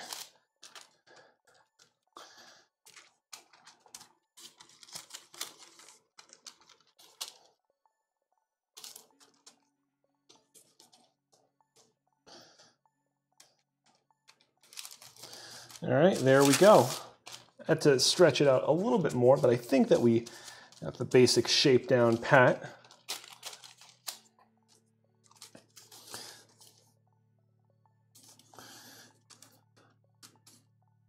I think the, the steak head on this guy is going to look quite nice. Quite nice. The only thing is that we don't have quite as much stuff on this section of the edge over here to kind of keep the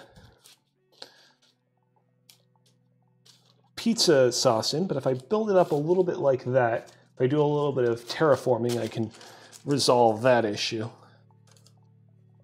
Same thing with this section of the snake over here, which looks a little bit on the smaller side.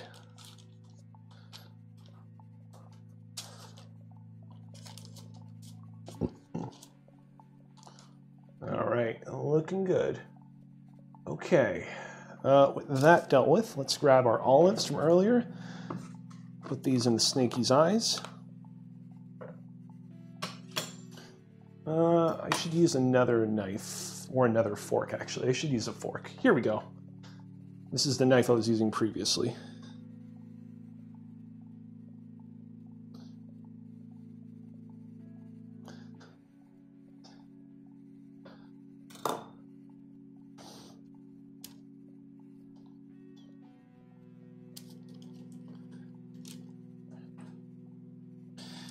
It's eye number one, and that is eye number two. Will they remain after they come out of the oven? We'll have to wait and find out. Well, it seems like the eyes are still remaining on that boy, so that's good. Uh, okay, this time around for this boy, I'm actually gonna just put exclusively uh, this type of cheese. I think I'm gonna leave the uh, string cheese over to the side. So let me just take a quick second to cut up as many of these pieces as I can.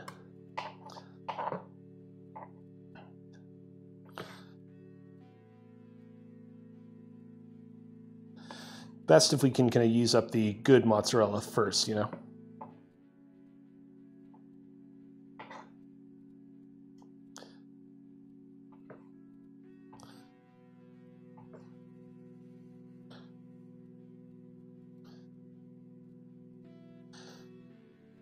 All right. And what I'm thinking is that I can either use like a bunch of olives or maybe like a bunch of maybe like a couple of pieces of additional green dough to kind of like formulate the like the little lip shape and the eyes on the Kinda Funny pizza after all is said and done. Okay. Oh, I think that our timer is about to go off. This is exciting. All right. Echo, turn off the timer. Let's see how this bad boy came out. Ooh, I think that six, uh, six minutes was exactly right.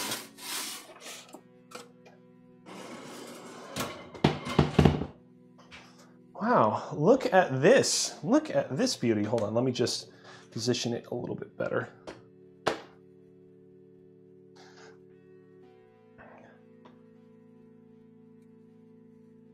Lo and behold, logo got a little bit messed up in the process, but I mean, that's kind of to be expected. But the pizza, oh boy, this is, this is quite the, holy shit.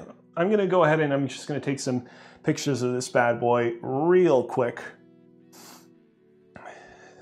before I forget to do so.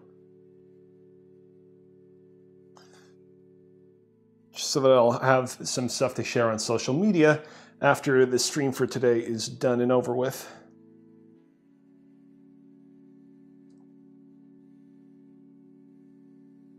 There we go.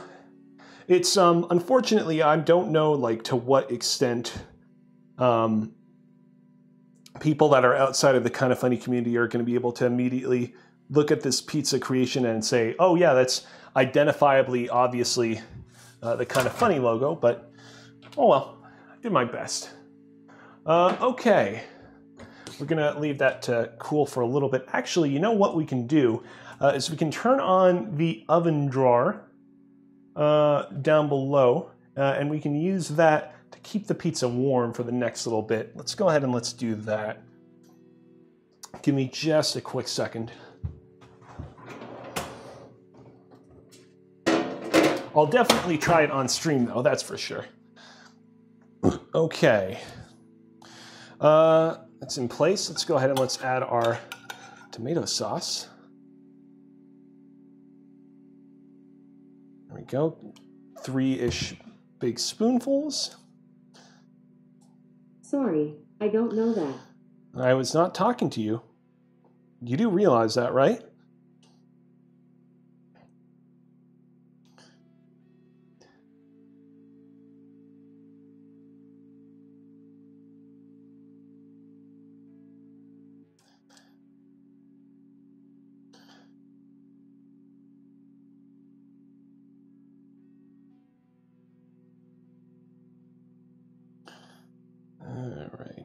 Trying to make sure that the pizza sauce is nicely dispersed over the pizza in question. There's none in too much of one part of it. All right, without further ado, let's go ahead and we really want to make sure this time around that we're kind of properly covering up this bad boy with cheese. We don't want any particular part to feel like it's lacking in cheese. So we've to, we're gonna have to make sure that we're nice and thorough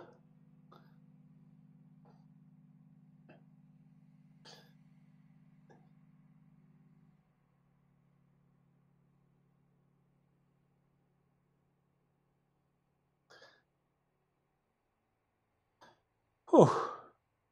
Did Pretzel Rock stop playing? Or is it just did it just switch over to like a really quiet track? No, I think it is still playing. I think it's just transitioning between tracks or something. One second. Some of these pieces of cheese are a little bit on the they're a little bit on the thick side, and I need to make sure that they're properly thin.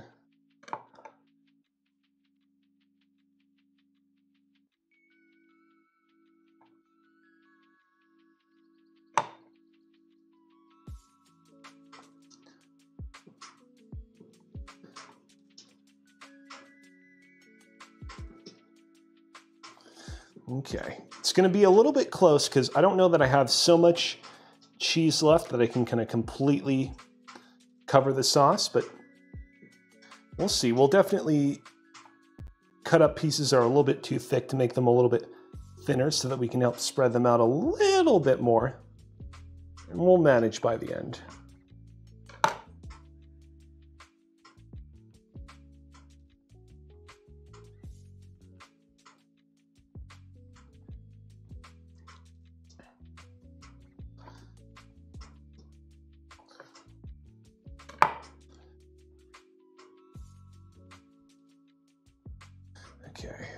Go.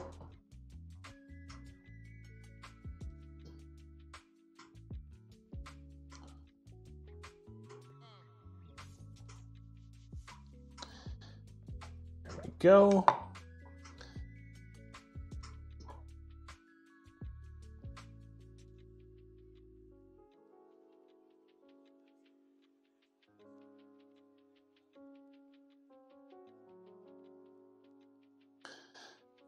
Still not entirely certain what I'm going to use to make the Kinda Funny eyes and the uh, little like mouth shape.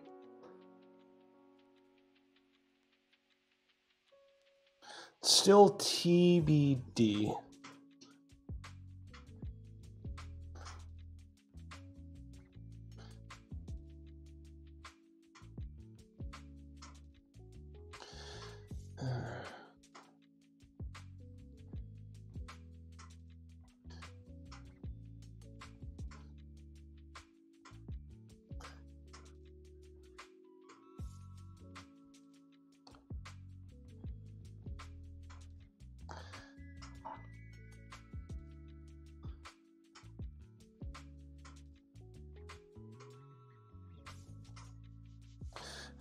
Cut this piece in half.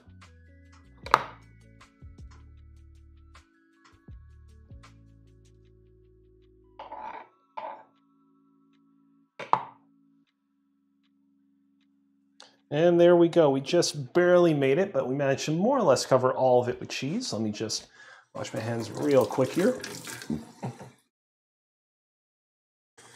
Ah, looks pretty good. Uh, all right, now we just have to figure out the smiley face and the eyes. What are we going to do? What are we going to do? I mean, yeah, I guess we can just continue to use more olives. I think that'll probably be for the best. Uh, let's bring in the uh, logo once again, just for reference. Okay. Just gonna bring out a whole bunch of olives all at once to make my life easier. There we go. Okay.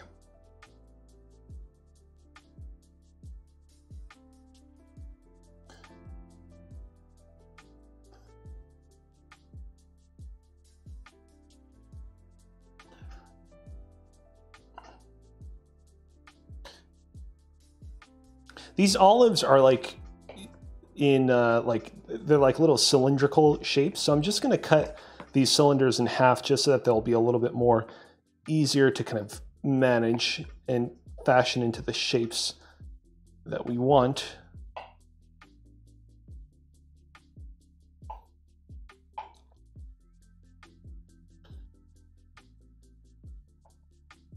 Okay, there we go.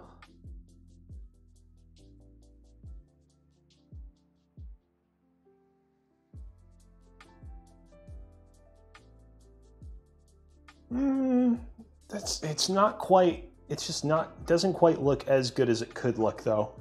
That's the thing. You know what? I'm going to go back to my original idea of using uh, little pieces of green dough. I think that will make the most sense. And you know what? Because uh, there are a couple of sections of snake here that which probably have a little bit too much dough, I'm going to go ahead and I'm going to cut it off from the beast itself.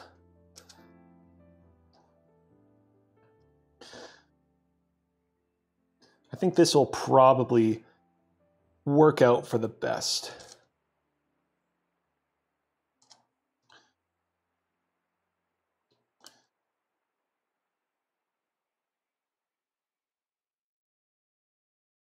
There we go. Gotta say though, these olives are pretty tasty. I was not anticipating them to taste as good as they do. Uh, let me just, I need to cut off a little bit more green stuff.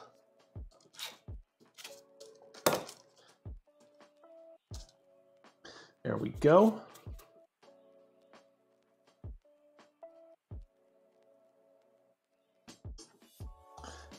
Of course, the eyes and the, you know, little smiley thing look a little bit small right now, but of course the dough will grow in the oven and that will definitely resolve that issue.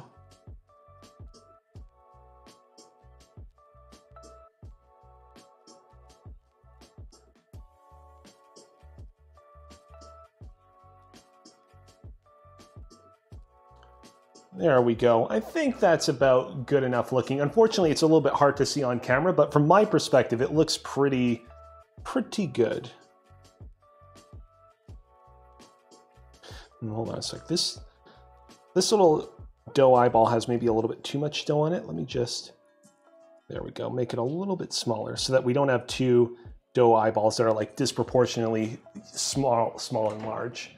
Okay, I think that's about good enough. I'm gonna go ahead and I'm gonna put this bad boy in the oven. Whew. After I put this bad boy in the oven, I am going to once again consult the prize wheel of causality and finish up those two remaining wheel spins uh, that I previously promised. Uh, where is the, here we go.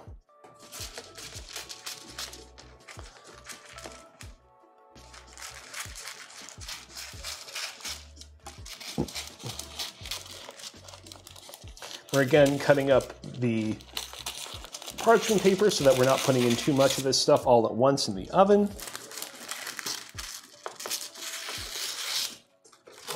There we go. Looking pretty good. All right, without further ado, let's schlep this bad boy in. Uh, let's switch over so that we can show off, off our stove.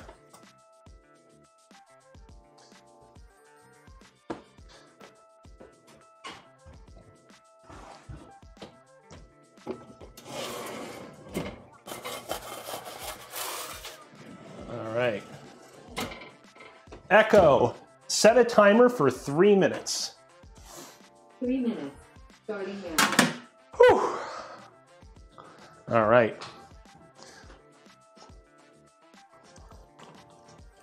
Let's spin the wheel. One, two, and three. Oh, hot sauce shot. This is where we take a shot of hot sauce uh, once again, it's going to be uh, Cholula uh, sweet habanero hot sauce. The sweet part of it makes it sound like it wouldn't be that painful, but trust me when I say it, this stuff can get pretty, pretty painful. Ugh. Definitely a weird way to end this stream, that's for sure. Ah, there we go.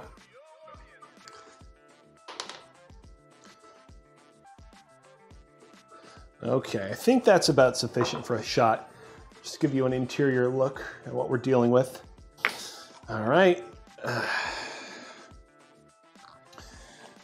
Down the hatch.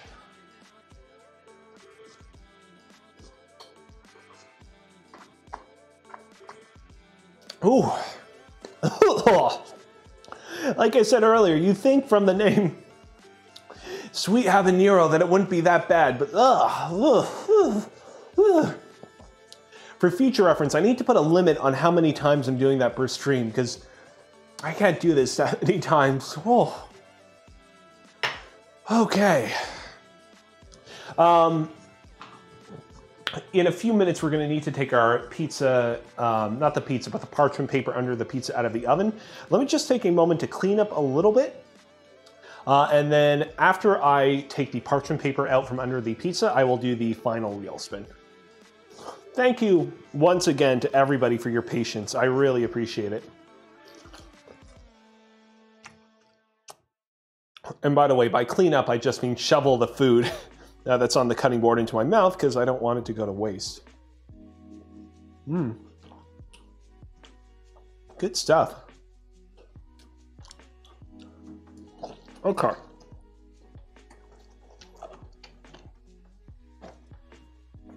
It turns out we didn't have any use for the green olives, so I'm going to go ahead and I'm going to put that stuff back in the fridge.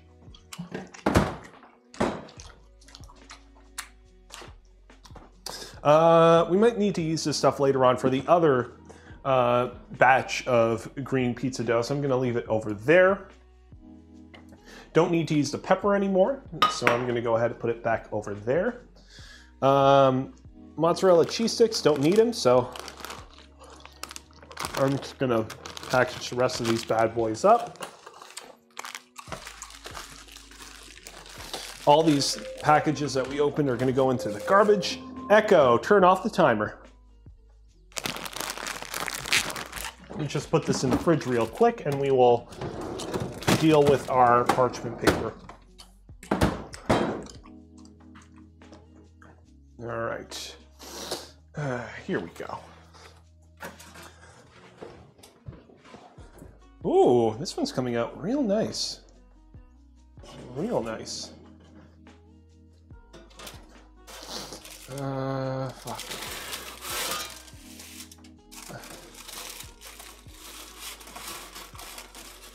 The center of the pizza is a little bit on the, how should I say, watery side. I don't want the water to randomly burst in the middle of the oven. There we go.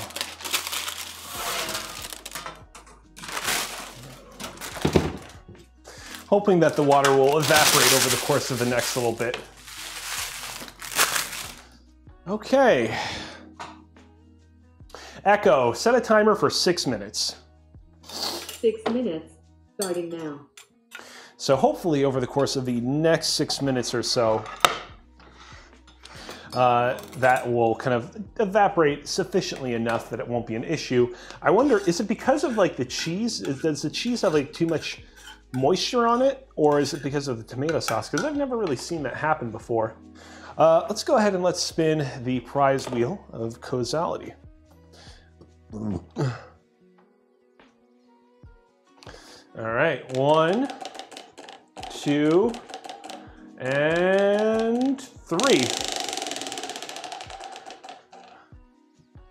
Animals are dumb. All right, that means that for two minutes I have to tell you why a random animal out there in Mother Nature is dumb. Uh, before I do that, though, uh, I'm just going to briefly uh, take the pizza that is currently uh, inside the oven warmer down below out, just so that we can let it cool down slightly so that we can taste it.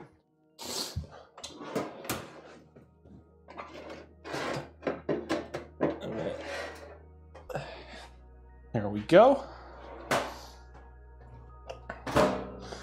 All right.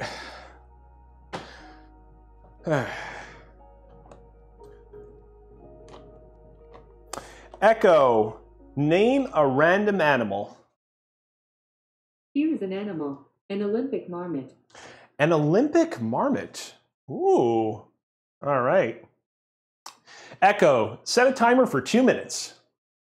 Second timer, two minutes, starting now. Ladies and gentlemen, I want to talk to you for a few minutes about the Olympic marmot. Now, here's the thing. You hear marmot and you think, oh, some like little weird badgery rodenty kind of thing.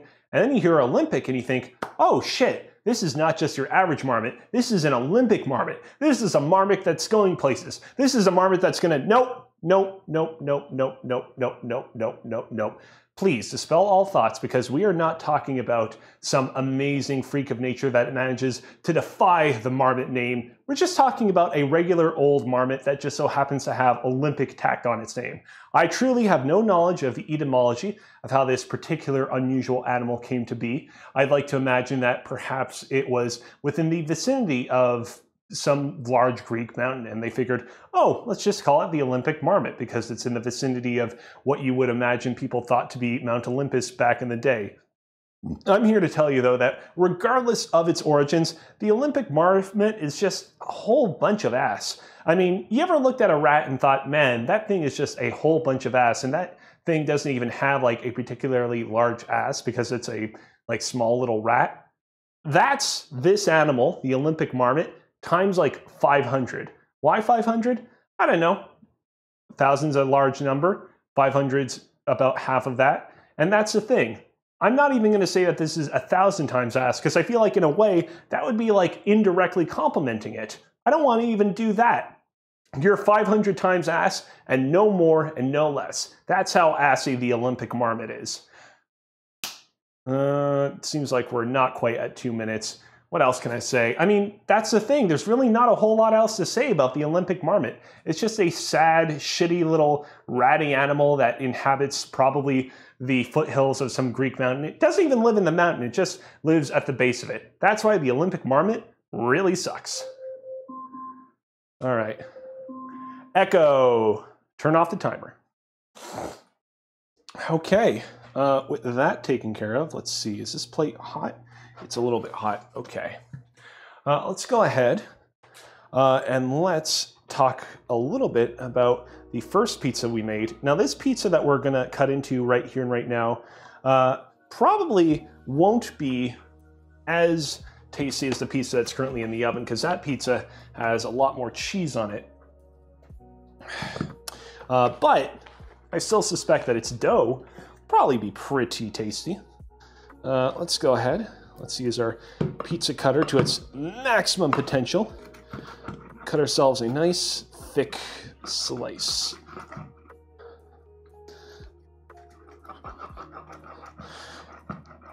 All right. Hmm, look at this bad boy. I really love the kind of texture of the like green crust on the side of it. Looks really nice. Hmm.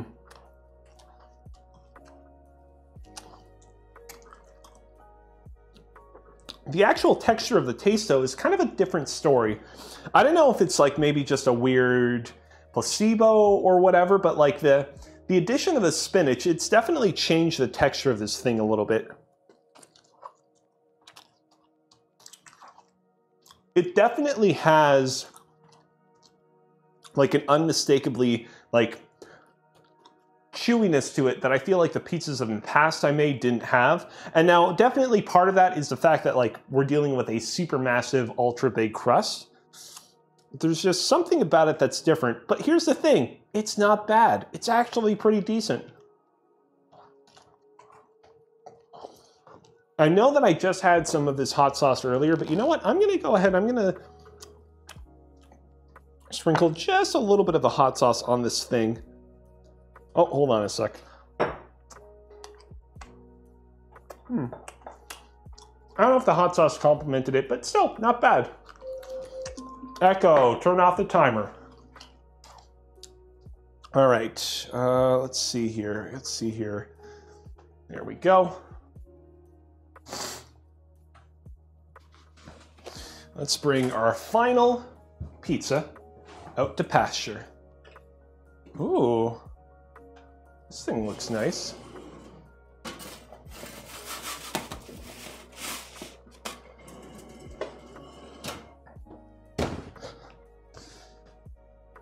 Yeah, let's get a nice good look at this thing with the counter cam.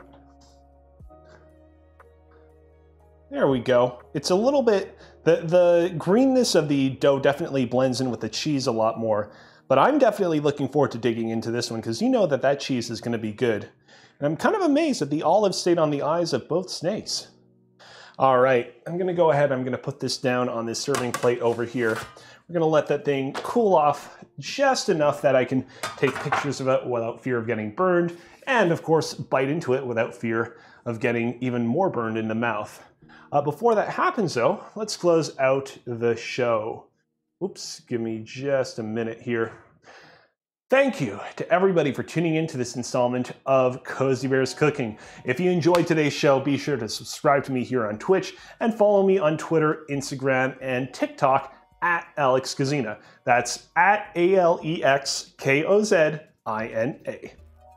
I'll be back here next Sunday at 4 p.m. EST with another scrumptious dish.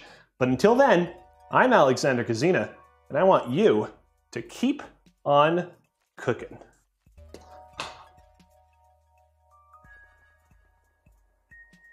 Oh, that was supposed to cue the outro, but it seems like it didn't work. Uh, oh, that's right. Sorry, I forgot that we have to hit a button on the Stream Deck to cue for the outro. This is real awkward. Kitman, uh, thank you so, so, so much for hanging out with me. Thank you to Silas. Thank you to everybody else who subscribed and tuned in today. Y'all are great people. Till next time.